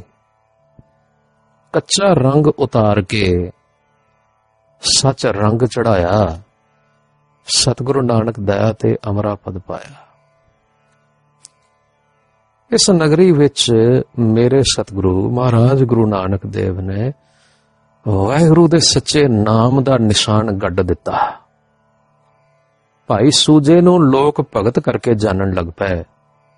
ਜਿਸ ਦੀ ਸੰਗਤ ਅਤੇ ਔਲਾਦ ਅੱਜ ਵੀ ਮੁਰਸ਼ਿਦਾਬਾਦ ਵਸਦੀ ਸੁਣੀ ਜਾਂਦੀ ਹੈ। ਸਤਿਗੁਰੂ ਜੀ ਇਸ ਤੋਂ ਅੱਗੇ ਤੁਰੇ। ਪਹਿਲੋਂ ਦੱਖਣ ਵੱਲ ਨੂੰ ਕ੍ਰਿਸ਼ਨਗੰਜ ਵੱਲ ਜਾ ਨਿਕਲੇ। ਕੁਝ ਦਿਨ ਇੱਥੇ ਠਹਿਰ ਕੇ ਵਾਹਿਗੁਰੂ ਦੇ ਨਾਮ ਦਾ ਸੁਹੇਲਾ ਸੁਣਾ ਕੇ ਕਈ ਥਾਈਂ ਫਿਰਦਿਆਂ ਹੋਇਆਂ ਉੱਤਰ ਪੂਰਬ ਨੂੰ ਹੋ ਗਏ। ਤਾਂ ਆਪ ਸ੍ਰੀ ਰਾਜਗੰਜ ਆ ਕੇ ਰੁਕੇ। ਕੁਝ ਦਿਨ ਇੱਥੇ ਨਾਮ ਦਾ ਪ੍ਰਚਾਰ ਕੀਤਾ ਇਧਰ ਉਧਰ ਫਿਰਦਿਆਂ ਥੋੜਾ ਚਿਰ ਟਿਕਦਿਆਂ ਗੁਜ਼ਰਿਆ, ਫਿਰ ਇੱਕ ਥਾਂ ਆਏ ਜਿੱਥੇ ਜਲ ਹੀ ਜਲ ਨਜ਼ਰ ਆਵੇ। ਉਥੋਂ ਕੋਈ ਪਾਰ ਤੱਕ ਦੀ ਧਰਤੀ ਨਜ਼ਰ ਨਾ ਪਵੇ। ਇੱਥੇ ਵਾਹਿਗੁਰੂ ਦੇ ਰੰਗ ਵਿੱਚ ਮਗਨ ਖੜੇ ਸਨ। ਭਾਈ ਮਰਦਾਨਾ ਪੁੱਛਗਿੱਛ ਕਰ ਰਿਹਾ ਸੀ, ਜਦੋਂ ਆਪ ਨੇ ਫਰਮਾਇਆ, ਵੇਖ ਵਾਹਿਗੁਰੂ ਦੇ ਰੰਗ, ਮਰਦਾਨਿਆ, ਉਹ ਆਪ ਸਾਰਾ ਕੁਝ ਕਰ ਰਿਹਾ ਹੈ। ਇਹਨਾਂ ਨੇ ਇੱਕ ਬਹੁਤ ਵੱਡੀ ਬੇੜੀ ਆਈ। ਮਲਾਹਾਂ ਨੇ ਆਪ ਜੀ ਨੂੰ ਆਖਿਆ, ਅਸੀਂ ਤੁਹਾਨੂੰ ਲੈਣ ਵਾਸਤੇ ਆਏ ਹਾਂ। ਤਾਂ ਗੁਰੂ ਜੀ ਹੱਸ ਕੇ ਉਹਦੇ ਵਿੱਚ ਚੜ ਬੈਠੇ। ਉਸ ਮਹਾਨ ਜਲ ਤੋਂ ਪਾਰ ਹੋਏ ਤਾਂ ਜੋ ਸਾਧੂ ਕਿਸ਼ਤੀ ਵਿੱਚ ਲੈਣ ਆਇਆ ਸੀ ਨਾ, ਉਹ ਆਪ ਨੂੰ ਇੱਕ ਪਹਾੜੀ ਜਈ ਤੇ ਲੈ ਗਿਆ। ਇੱਥੇ ਜਾ ਕੇ ਸਾਰੇ ਇੱਕ ਗੁਫਾ ਵਿੱਚ ਵੜ ਗਏ। ਹਨੇਰਾ ਬਹੁਤ ਸੀ। ਮਰਦਾਨਾ ਘਬਰਾਇਆ, ਪਤਾ ਨਹੀਂ ਕਿੱਧਰ ਜਾ ਰਿਹਾ ਹਾਂ ਕੁਝ ਦੇਰ ਬਾਅਦ ਹਨੇਰਾ ਮੁੱਕ ਗਿਆ। ਖੁੱਲੀ ਥਾਂ ਆ ਗਈ ਤੇ ਕਈ ਸਾਧੂਆਂ ਦੀਆਂ ਧੂਣੀਆਂ ਲੱਗੀਆਂ ਹੋਈਆਂ ਨਜ਼ਰੀ ਪਈਆਂ। ਤਪਸਵੀ ਸਾਧੂ ਅਨੇਕ ਤਰ੍ਹਾਂ ਨਾਲ ਆਸਣ ਲਾ ਕੇ ਬੈਠੇ ਸਨ। ਸਤਿਗੁਰੂ ਜੀ ਨੂੰ ਦੇਖ ਕੇ ਉਹਨਾਂ ਸਾਰਿਆਂ ਨੇ ਉੱਠ ਕੇ ਸਤਕਾਰ ਨਾਲ ਮੱਥਾ ਟੇਕਿਆ ਤੇ ਸਾਰਿਆਂ ਦੇ ਸ਼੍ਰੋਮਣੀ ਸਾਧੂ ਨੇ ਬੜੇ ਸ਼ਰਧਾ ਤੇ ਸਤਕਾਰ ਨਾਲ ਮੱਥਾ ਟੇਕ ਕੇ ਸਨਮਾਨ ਕੀਤਾ। ਗੁਰੂ ਜੀ ਨੇ ਵੀ ਸਤਕਾਰ ਨਾਲ ਉਸ ਨੂੰ ਗਲੇ ਲਾਇਆ ਤੇ ਦੋਵੇਂ ਬਹੁਤ ਪਿਆਰ ਨਾਲ ਵਿਰਾਜੇ। ਇਸ ਮੁਖੀ ਸਾਧੂ ਦਾ ਨਾਮ ਰਾਮਦਾਸ ਲਿਖਿਆ ਹੈ। ਹੁਣ ਕੁਝ ਦਿਨ ਇੱਥੇ ਟਿਕ ਗਏ। ਖਾਣ ਪੀਣ ਨੂੰ ਇੱਥੇ ਫਲ ਮਿਲਦੇ ਸਨ ਜੋ ਬੜੇ ਸਵਾਦੀ ਸਨ ਤੇ ਕਈ ਤਰ੍ਹਾਂ ਦੇ ਕੰਦ ਜਿਹੜੇ ਜ਼ਮੀਨ ਵਿੱਚੋਂ ਨਿਕਲਦੇ ਨੇ, ਭੁੰਨ ਕੇ ਖਾਈਦੇ ਨੇ, ਉਹ ਵੀ ਮਿਲ ਜਾਂਦੇ ਸਨ। ਇੱਥੇ ਬਾਬਾ ਜੀ ਦੀ ਕੋਈ ਗੋਸ਼ਟ ਜਾਂ ਵਿਚਾਰ ਸੁਣਨ ਦਾ ਮਰਦਾਨੇ ਨੂੰ ਮਰਦਾਨੇ ਨੂੰ ਅਵਸਰ ਨਹੀਂ ਮਿਲਿਆ। ਕਿਉਂਕਿ ਰਾਤ ਪੈਂਦਿਆਂ ਹੀ ਗੁਰੂ ਜੀ ਅਤੇ ਰਾਮਦਾਸ ਜੀ ਉਥੋਂ ਅੱਗੇ ਕਿਸੇ ਤਪੋਭੂਮੀ ਚਲੇ ਜਾਂਦੇ ਤੇ ਧਿਆਨ ਮਗਨ ਹੋ ਕੇ ਟਿਕ ਜਾਂਦੇ ਤੇ ਸਵੇਰੇ ਆਪਣੇ ਟਿਕਾਣੇ ਆਉਂਦੇ ਸਨ। ਕਈ ਦਿਨ ਇਕਾਂਤ ਵਿੱਚ ਰਹਿ ਕੇ ਤੇ ਆਪਣੇ ਰੰਗ ਵਿੱਚ ਆਨੰਦ ਮਾਣ ਕੇ ਸ੍ਰੀ ਗੁਰੂ ਜੀ ਉਥੋਂ ਤੁਰ ਪਏ। ਮਰਦਾਨੇ ਨੇ ਪੁੱਛਿਆ ਕਿ ਆਪ ਕਿੱਥੇ ਜਾਂਦੇ ਸੋ? ਤਾਂ ਫਰਮਾਉਣ ਲੱਗੇ, ਸ਼ਬਦ ਰੰਗਾਏ, ਹੁਕਮ ਸਬਾਏ, ਸਾਚੀ ਦਰਗਹਿ ਮਹਿਲ ਬੁਲਾਏ। ਇਸ ਤਰ੍ਹਾਂ ਕੁਝ ਸਮਾਂ ਆਪਣੇ ਆਪ ਨੂੰ ਬਿਲਕੁਲ ਇਕਾਂਤ ਵਿੱਚ ਰੱਖ ਕੇ ਹੁਣ ਸ੍ਰੀ ਗੁਰੂ ਜੀ ਅੱਗੇ ਨੂੰ ਤੁਰ ਪਏ। ਤੇ ਢਾਕੇ ਸ਼ਹਿਰ ਆ ਗਏ। ਸ਼ਹਿਰੋਂ ਬਾਰ-ਬਾਰ ਇੱਕ ਟਿਕਾਣੇ ਆਪ ਰੁਕੇ। ਅੰਮ੍ਰਿਤ ਵੇਲੇ ਤੇ ਸ਼ਾਮ ਨੂੰ ਨਿਤ ਵਾਂਗ ਦੋਵੇਂ ਵੇਲੇ ਕੀਰਤਨ ਦਾ ਰੰਗ ਲੱਗਿਆ ਕਰੇ। ਦੂਰ ਨੇੜਿਓਂ ਲੋਕ ਵੀ ਆਉਣ ਤੇ ਹੌਲੀ-ਹੌਲੀ ਸੁਣਨ ਵਾਲੇ ਵੱਧਦੇ ਗਏ। ਇੱਕ ਦਿਨ ਇਹ ਸ਼ਬਦ ਕਿਸੇ ਅਚਰਜ ਸਵਾਦ ਵਿੱਚ ਗਾਇਆ ਗਿਆ। ਗੌੜੀ ਗਵਾਰੇਰੀ ਮਹਿਲਾ ਪਹਿਲਾ। ਮਨ ਕੁੰਚਰ ਕਾਇਆ ਉਦਿਆਨੇ। ਸੁਣਨ ਵਾਲਿਆਂ ਵਿੱਚ ਦੋ ਚਾਰ ਸਿਆਣੇ ਪੁਰਖ ਸਨ। ਉਹਨਾਂ ਤੇ ਇਹੋ ਜਿਹਾ ਅਸਰ ਹੋਇਆ ਬਈ ਉਹਨਾਂ ਨੂੰ ਇਹੋ ਜਿਹੀ ਖਿੱਚ ਪਈ ਬਈ ਗੁਰੂ ਜੀ ਦੇ ਪੈਰੀਂ ਪੈ ਗਏ।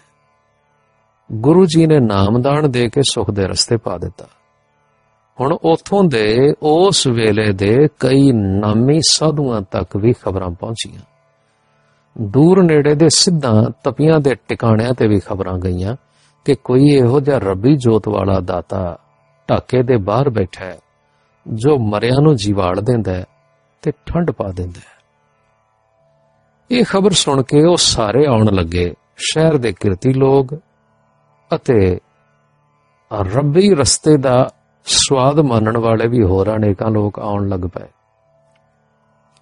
ਗੁਰੂ ਬਾਬਾ ਜੀ ਦੇ ਉਪਦੇਸ਼ ਤੇ ਕੀਰਤਨ ਦਾ ਅਸਰ ਇਹ ਹੋਇਆ ਕਿ ਤਪੀ ਤੇ ਸਾਧੂ ਸਭ ਬਾਬੇ ਦੇ ਪ੍ਰੇਮੀ ਹੋ ਗਏ।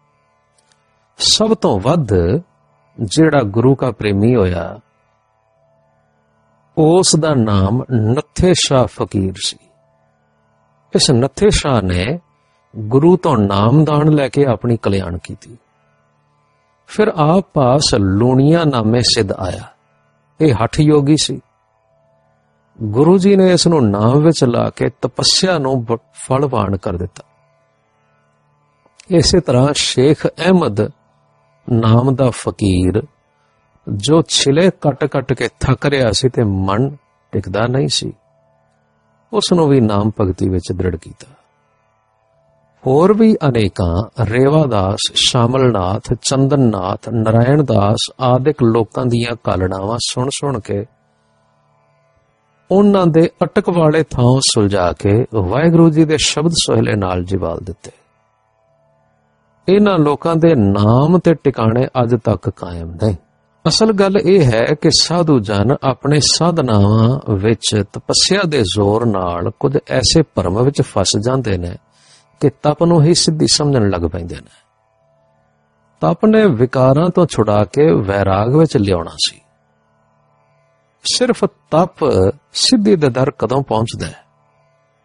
ਇਸ ਤਰ੍ਹਾਂ ਕਈ ਕਰਾਮਾਤਾਂ ਦੀ ਪ੍ਰਾਪਤੀ ਤੇ ਯਤਨਾਂ ਵਿੱਚ ਲੱਗੇ ਮਿਹਨਤਾਂ ਕਰਦੇ ਰਹਿੰਦੇ ਨੇ ਤੇ ਕਈ ਇਥੋਂ ਤਿਲਕ ਕੇ ਤਾਂਤਰੀ ਹੋ ਜਾਂਦੇ ਨੇ।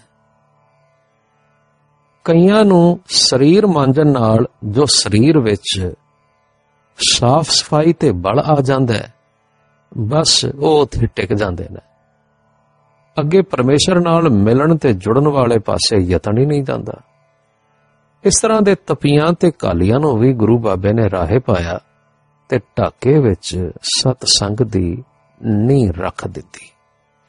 ਢਾਕੇ ਤੋਂ ਥੋੜੀ ਦੂਰ ਕੋਈ 4-5 ਕੋਹਾਂ ਤੇ ਇੱਕ ਚੰਗਾ ਪਿੰਡ ਸੀ, ਜਿਸ ਦਾ ਨਾਮ ਸੀ ਧਨਪੁਰ।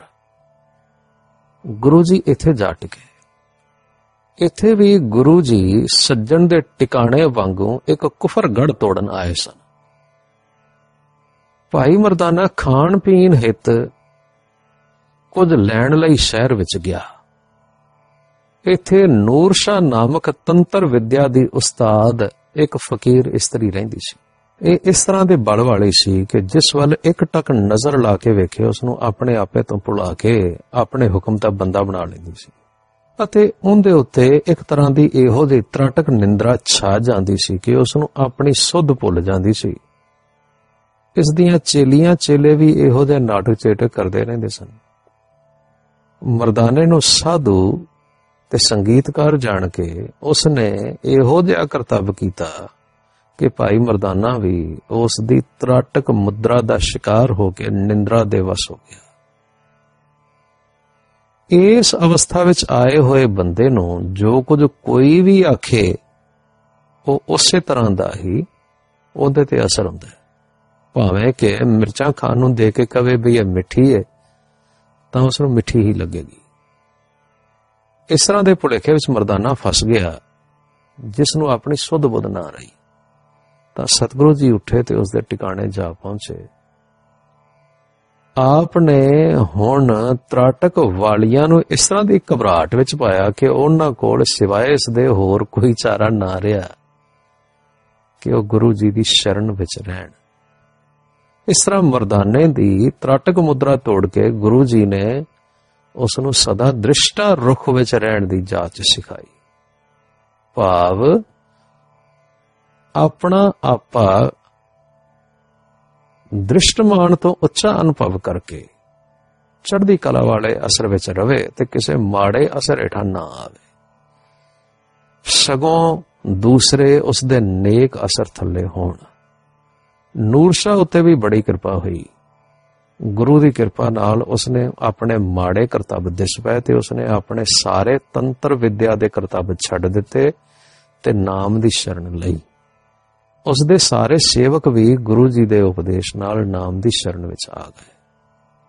ਇਸ ਤਰ੍ਹਾਂ ਦੀ ਇਸ ਬੰਜਰ ਧਰਤੀ ਨੂੰ ਉਪਜਾਊ ਧਰਤੀ ਬਣਾ ਕੇ ਸਭ ਭੁੱਲੇ ਹੋਏ ਹਿਰਦਿਆਂ ਵਿੱਚ ਨਾਮ ਦਾ ਬੀਜ ਬੀਜ ਕੇ ਗੁਰੂ ਜੀ ਵੀ ਇਥੋਂ ਅਗਾਹ ਤੁਰ